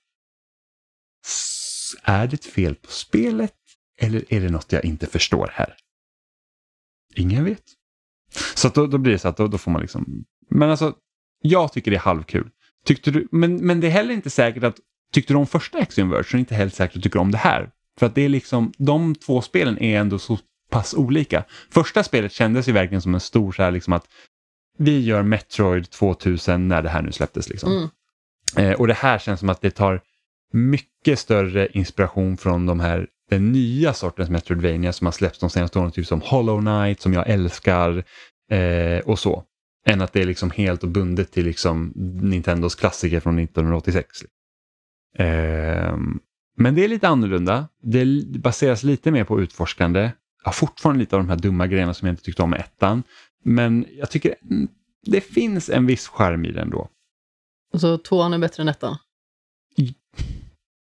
Än så länge. Jag tror inte att jag klarade ut ettan. Jag tror att jag kommer kunna klara ut tvåan, även om jag tycker att det är lite för öppet just nu så det blir så att ah, det, det, det är för jobbigt att springa Det ser lite rörigt ut. Men jag har liksom låst upp fast travel nu, vilket underlättar liksom utforskandet. Så när, innan man hade det, då var det verkligen så att orkar jag verkligen springa tillbaka till den här jäkla checkpointen så att jag kan starta därifrån istället? Jag avskyr sånt när man liksom känner att det blir betungande att ta sig någonstans. Alltså, Mm. Som sagt, det är ett helt annat spel, men det här Rainswept till exempel. När man kollade på kartan och vet att man typ ska gå från kyrkan till brottsplatsen som är på varsin sida kartan och man vet hur jäkla långsamt det går, då dör man lite inombords. ja, men det är så här, ork, ja men det är typ som när jag spelade eh, Everybody's Gone to the Rapture. Oh. Och man gick så otroligt, det fanns, det fanns en sprintknapp som, som gjorde att du sprang marginellt sett, men så här, orkar jag verkligen gå dit? Och jag, så att man kommer till en punkt mot slutet av spelet där man ska följa ett ljus hela tiden. Och, jag tapp, och det, det här ljuset fungerar inte riktigt optimalt, så jag tappade bort det här ljuset och jag var så här, vart fan ska jag nu? Och så kom jag ihåg att någon hade sagt någonting om att typ att, jo men snart är vi tillbaka i början. Eh, som vilket gör att, liksom, att det är dit vi ska. Jag bara, åh oh, men gud, jag går tillbaka dit. Så jag gick tillbaka ända, hela vägen till dit man startade. Och, liksom, och det roliga med det spelet var ju det att typ dygnet styrdes ju mellan vart du var någonstans i spelet. Så jag gick tillbaka, så från att det varit mörkt och kväll där jag var så gick jag tillbaka till början och då var man liksom där på dagen och då var jag så här bara, nej, det var inte hit jag skulle. Och då hade jag liksom gått typ i 20 minuter för att komma tillbaka dit och så bara, ah, måste Mycket gå tillbaka. frustrerande Och nu måste jag spel. gå tillbaka hela vägen igen. gick på tok för långsamt. Eh, konceptet fungerade inte riktigt som man ville. Och det finns många spel som gör det här Walking Simulator-aktiga mycket bättre. Alltså ta bara Dear Esther till exempel som ett hyfsat gammalt alternativ. Ja, samma utvecklare. Ja. Jo, jag vet. Men alltså, där har du ju ändå någonting som gör att intuitionen hjälper en jättemycket på Mm. vägen. Spelet är inte speciellt långt, man tar sig igenom det ganska så lätt. Men det är ändå liksom en väldigt fin upplevelse. Mm. Ja, nej, jag tyckte inte heller Everybody's Gone to Rapture. Jag, jag älskade konceptet och jag tyckte idén var jättebra. Men, eh, åh, nej, usch, det, var, det kändes som en pest och att ta sig igenom. Eh, men Next Inverge, jag tror att jag kommer klara ut tvåan. Eh, men jag, vet, jag, jag är väldigt liksom så här typ, jag vet inte om jag gillar det eller inte. Konflikterad. Ja, eller om jag känner liksom så här att, åh, jag bara måste klara det. Vilket också är så här, egentligen en ganska dum grej. Och Standard Day. Ja, också stannat med det. är så här typ, När du spelade det här Dodgeball Academia Ja, till exempel. ja, men- bara så här, "Nej, jag tycker inte om det, men nu ska jag spela klart det. Ja, men det var också så här, lite konstigt, där Dodgeball Academy. Det så såg så himla trevligt ut, som en, typ, så här en blandning mellan typ Pokémon och Golf Story. Liksom så här, typ att du går i den här skolan där du ska bli typ världens bästa Dodgeball-spelare. Eh, Kul koncept. ja, kul koncept. Eh, sk- skitsnygga liksom, karaktärer och sånt, väldigt tecknad stil på en så här jätteful 3D liksom, Lite väl bakgrund mycket i så princip. här standard Cartoon Network. Ja, men precis. Det, det är liksom för glättigt så att jag liksom kunde inte bry mig om storyn sen. Och sen tyckte jag att huvudkaraktären var skitjobbig. Men där, där liksom, Dodgeball Academia, så det är så här typ att du möter andra spelare och så spelar ni Dodgeball mot varandra i typ JRPG liksom stuk. Inte, inte så att det är så här, uh, turordningsbaserade strider utan det är ju liksom så att du spelar en Dodgeball-match och du har liksom olika bollar som har olika förmågor och så slänger du, så ska du liksom träffa dina motståndare så de förlorar all sin HP och du ska se till att du inte förlorar din HP och sen så Eh, så på så sätt är det kul. Det är lite mer som Pyre i det avseendet, liksom att där inte är lika statiskt, utan man kan göra lite som man vill. Precis, och så är det uppdelat i liksom så episoder, så, så det, det är ju lite som en så här typ anime slash Cartoon Network-serie, så att varje avsnitt då har liksom sitt eget tema, men liksom huvudgrejen är att du ska vinna den här stora dodgeball-turneringen på Alltså skolan. huvudkaraktären ser ut som en blandning mellan Ash Ketchum och någonting ur Edded och Eddie typ. Ja, inte riktigt lika ful som Ed eller men det är typ Ja, Ash Ketch. inte jättevacker Typ heller. lite en sån amerikaniserad Ash Ketchum typ, som man, man liksom Som man har tryckt ihop och satt sig på. Ja, det är inte riktigt samma de här manga-formerna, men det är ändå liksom, man kan se liksom att det är lite influenser därifrån. Jag tycker att huvudkaraktären ser skitbra Jag tycker han ser skitball ut. Liksom. Det var ju det som fick mig att vilja spela spelet. Jag tyckte så att oh, men det här ser kul ut. Ju längre jag tittar på det, desto fulare tycker jag att det är. Ja, okay. ja, nej, men jag, jag, jag gillade karaktären och liksom den stilen som de hade. Det var bara liksom att, att miljön man rörde sig i var yxful. Liksom. Jag hade också planerat att spela det. Sen så spelade du det, gillade inte speciellt mycket. Jag kollade, såg inte så jättespännande ut. Nu vill jag inte längre spela det. Ja, men det, blir lite, det blir lite för repetitivt och liksom att, att allt löses liksom med att du spelar dodgeball mot allt. Precis som i verkliga livet. Det är liksom så här att alla sidouppdrag går ut på att ah, men du ska gå till den här grejen och så ska du hitta de här sakerna och sen så får du spela dodgeball mot någon. Och det är väl liksom lite tråkigt. Och det är liksom så här att, ja visst, jag tänkte så här, var- varför tycker inte jag om det liksom här nu? Men liksom till exempel i typ Pokémon så funkar det att man typ strider mot alla. Och det är bara för att i Pokémon så tränar man liksom upp sina Pokémon, de kan utvecklas, lära sig nya attacker. Medan här, visst, du tränar också upp liksom hela ditt team och de går också upp i level och så får de liksom starkare attacker och liksom till exempel som huvudkaraktären då så att han, hans specialförmåga är att han liksom sätter eld på sin boll så att, så att eh, motståndaren liksom börjar brinna. Vilket är ganska... De har ju väldigt mycket så bootleg Pokémon Center också. ja, ja, men det precis. ser ju Man- typ likadant ja, ja, ut. Man, man, går, man går till eh, liksom så här sjuksystern då och så får, blir man helad och sen så blir allt svart och så hör man typ det här lilla plinget i bakgrunden. Inte exakt som Pokémon här, dun, dun, dun, men det är liksom något liknande.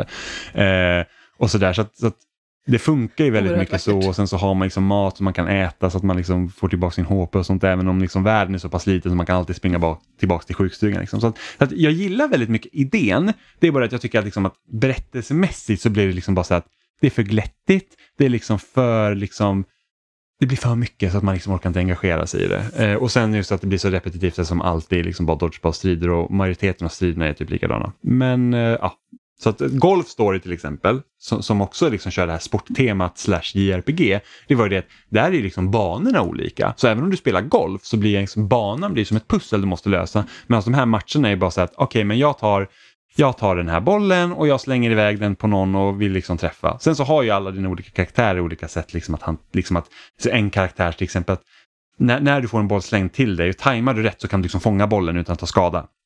Och en karaktär kanske har ett basebollträ så då måste man ladda upp det slaget och skicka iväg. Men liksom längre fram i spelet och när det är så många spelare på planen, för att det är oftast tre, liksom. du är alltid tre i ditt lag och sen så kan du kanske möta fyra samtidigt. Det, det händer så pass mycket och planen är så pass liten att det ibland blir så otroligt svårt att kunna liksom tajma bollarna och fånga dem. Och det blir bara mer irriterande och irriterande. Sådär. Så att eh, ja, det, det är liksom inte det bästa spelet. Jag behövde inte ha klarat ut det, men jag gjorde det i alla fall. Men jag, jag tyckte inte att det var... Idén är bättre än utförandet om man säger så. Jag kan säga som min gamla personliga tränare, snedstreck vän och kollega, sa i inledningen av varje pa- pass. eh, It looked good on paper. Ja, men precis. Det, det gjorde det. Och trailern såg det skittrevligt ut. Liksom. Det hade kunnat varit asmysigt. Det är typ liksom. så här, fem minuter in i varje träningspass som var svinjobbigt som man nästan ville spy. Han bara, Mm. det så bra ut på pappret och alla bara så här, ja, snart är du död. Ja, men det var ju så här, så förra, förra hösten eller förra sensommaren så spelade det här Ikenfell. Som, som, som gick ut på att man var liksom, kom till den här magiskolan och skulle typ rädda sin syster och sådana grejer. Och där, där var ju liksom fungerade storyn väldigt bra istället. För det var ju så här typ att, ja men, hitta sig själv och liksom att man inte räcker till och sånt. Och det, det fungerar väldigt bra. Här blir det, liksom, det blir så skrikigt. Det är typ som att kolla på nästan så här, ja men Dexters laboratorium när alla bara står och skriker på varandra. Och man så här Oh. bara, jag orkar liksom inte. Och det finns säkert ett jättebra budskap i, i berättelsen. Man kan ju hoppa över alla mina sekvenser till slut och jag orkar väl kanske de fyra första timmarna liksom att läsa allting och sen så bara säga nej, det här går inte. Eh, så att, eh, ja. Men det, är i alla fall spelat, så det, behöver man kanske inte spela om man inte vill. Men, men vill man spela lite spökboll, tror jag är vår variant av dodgeball, va? så då kan man göra det. Eller spela Pyre för att det är mycket bättre. Ja, Pyre är bättre. Eller Golf Story, som också är bättre. Eller Fifa. Om man gillar Fifa kan man göra det. Jag har inte spelat så mycket Fifa, jag föredrar NHL. Men jag, som, Den enda matchen Fifa du har spelat så blev du sur för att du fick stryk. Jag har ju spelat Fifa Ja, innan men jag spelade med dig. Jag, nej, men jag blir inte sur över, men det var ju liksom, det, det, Fifa är ju mycket mer komplicerat än man kan tro. Liksom. Det är faktiskt det. Det, det är väldigt liksom, Jag är inte speciellt eh, fantastisk på Fifa heller ska jag säga. jag tycker nog också att Fifa är svårare att komma in i än till exempel NHL. Jag gillar inte NHL. Ja, jag älskar Jag fick NHL. inte grepp om det alls. Jag tycker väl, ja, mm, stäng av offside. Så. Men alltså, och jag icing. uppskattar liksom inte hockey överhuvudtaget. Nej, okej. Nej, men jag gillar och jag älskar ju så här de gamla 2D-spelen på Mega Drive. Det var ju skitkul så jag blir asglad när den här förra årets NHL så kom ju det här NHL 94. Liksom remake, typ remaster-grej och det var ju skitkul. Det var precis som att spela NHL 94 på Mega Drive så det, det var kul och svårt. Eh, så det var jättekul. Mm. Men nu har vi pratat otroligt länge om typ ett dussin spel känns det som. Mm, men vi ska iväg och spela ett dussin spel till. Ja, Spela mer Hades, jag ska spela Transistor, eh, mer Mass Effect 3, massa andra spel. Du har också massa andra spel. Vad ska du spela härnäst? jag ska ju klara ut Axiom Verge. Men efter det? Jag vet inte, det får vi se. Jag har ju även spelat typ så lite Art of Rally och lite andra så här. Jag skulle vilja spela Psychonauts innan Psychonauts 2 Mm. kommer men det börjar bli lite tajt om tiden. Men jag tänker att någon planering måste du ha utifrån en sån här korktavla med röda streck på. Ja, men, alltså, jag kan ju ibland vara så här att okej, det här är de spelen som kommer släppa. Alltså, så att jag hoppar gärna på spelen när de är nya. Så att jag vet att Deathloop kommer i september. Jag vet inte om det kommer något nu i augusti som jag måste spela. Så det är lite så här vad som faller mig in. Men jag Mm. har ju en pool. av- 12 minutes. Ja, 12 minutes kommer jag ju spela. Som släpps eh, nästa vecka. Den 19 va? Precis, så det, det, det vet jag att det kommer spela. Så ofta baserar jag mina val på spel, liksom så här, att vad är det som släpps framöver som jag kan spela liksom dag ett. Och sen så har man liksom där lite andra ströspel runt omkring som man kan ta om man hinner. Ja, man försöker ju liksom se till då att man inte spelar någonting som är för svårt att slita sig ifrån. Eh, om det liksom skulle råka kollidera med ett annat spel som man vill spela. Mm, precis, så det, vi får se lite vad, som, vad det blir av. Och sen, så, sen testade jag lite Back for Blood-betan också. Han körde typ en match. När gjorde du det? Eh, du sov. Mm. Eh, så, att, eh, så jag testade en match typ. När gjorde jag det? Ja, vem vet, du sov lite när som. Eh, men Men jag, får det att låta som att jag typ har narkolepsi och somnar överallt. Ja, men det är lite så. Men jag testade en match av Back for Blood och det är ju väldigt mycket Left for Dead och eh, av det lilla jag spelade så känns det inte som att det är lika bra ens som Left for Dead utan det, det, det känns som att det är några element som saknas. Men jag körde också på lättaste svårighetsgraden bara för att få känslan över hur det funkar så att jag vet inte riktigt om för just nu känner jag att det brister lite i fiende-AIn och jag vet inte om det beror på att jag körde på det lättaste. Men jag kommer ihåg att även när jag körde Left for Dead på lättaste bara för att man ville skjuta zombies så fanns det Även om fienderna var lättare och det tog inte mycket skada så var ändå det, det var ändå precis lika roligt som när man körde på svårare svårighetsgrad och det kände jag väl att här är någonting som saknas. Men, men som sagt, jag spelade otroligt, alltså det var typ 10 minuter. Så att jag kan liksom inte av, liksom göra någon större avvägning av det. Eh, och nu är betan slut så att eh, det blir att spela sen när det kommer på, när det släpps helt enkelt. Tillsammans. Ja, så att och, och, och köra, köra mot randoms och med connection-problem och sånt är inte samma sak som man sitter och spelar med tre andra som man känner. Eh, så att... Ja, Eh, det är ju väldigt roligt. Även ja. att man kan ha nätverksproblem då också. ja, ja, men precis. Lex när du och jag och Robin försökte spela det här DLC till, Till Gears, ja. Gears. ja och det, var inte. fruktansvärt. Vi typ Kraschade typ fem gånger och sen gav vi upp. Ja, eh, men eh, som sagt, jag, alltså Left 4 Dead 1 och 2, liksom, är, det är liksom, de spelen är ju kanon. Så det är svårt att leva upp till till och med. Men det var allt vi hade för den här veckan helt enkelt, vilket blev otroligt många spel. Vi hoppas att det finns någonting där som ni kanske säger, oh det här skulle jag vilja testa. Alltså jag vill ju verkligen slå ett hårt slag för uh, The Forgotten City, som jag tycker liksom är fenomenalt. Uh, och Chicory, som också är jättebra. Spela allt du känner för att du vill spela. Så hörs vi igen om en vecka.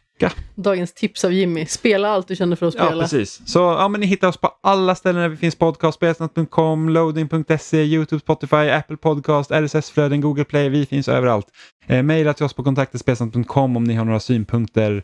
Eh, vad vill ni att vi ska prata om? Har ni några funderingar? Vill ni liksom någon fråga? Vad som helst. Instagram, kommentera på loading, vilket en del av er gör. Jag vet att eh, vi fick bra feedback på förra veckans avsnitt med Olivers och Adams Halo slash Dead Space snack, så det är kul. Eh, så hör av er.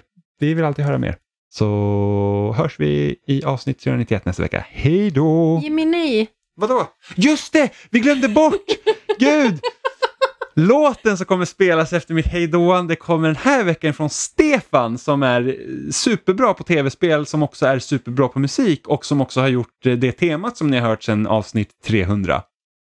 Eh, så han gör olika spelcovers på sin YouTube-kanal. Som om ni söker på Stefan Norlin på YouTube så kommer ni kunna höra eh, massor av bra spelmusikcovers som är så här metalösiga. Det är ett ord. Nu är det ett ord. Och den här veckan så har han gjort en cover. Mösiga. Ja, och, och vad, vad är han för cover han har gjort den här veckan? Som ni, ni kommer få höra nu. Eh, han har gjort en cover på Wicked Child från eh, Castlevania Mm. på NES. Och Castlevania är redan ösigt i sig själv, så nu kan ni höra mer med eh, Stefan Norlin. Dubbelös. Ös. Dubbelös. Dubbelös med Stefan kommer nu. Hej då! Puss i ljumsken!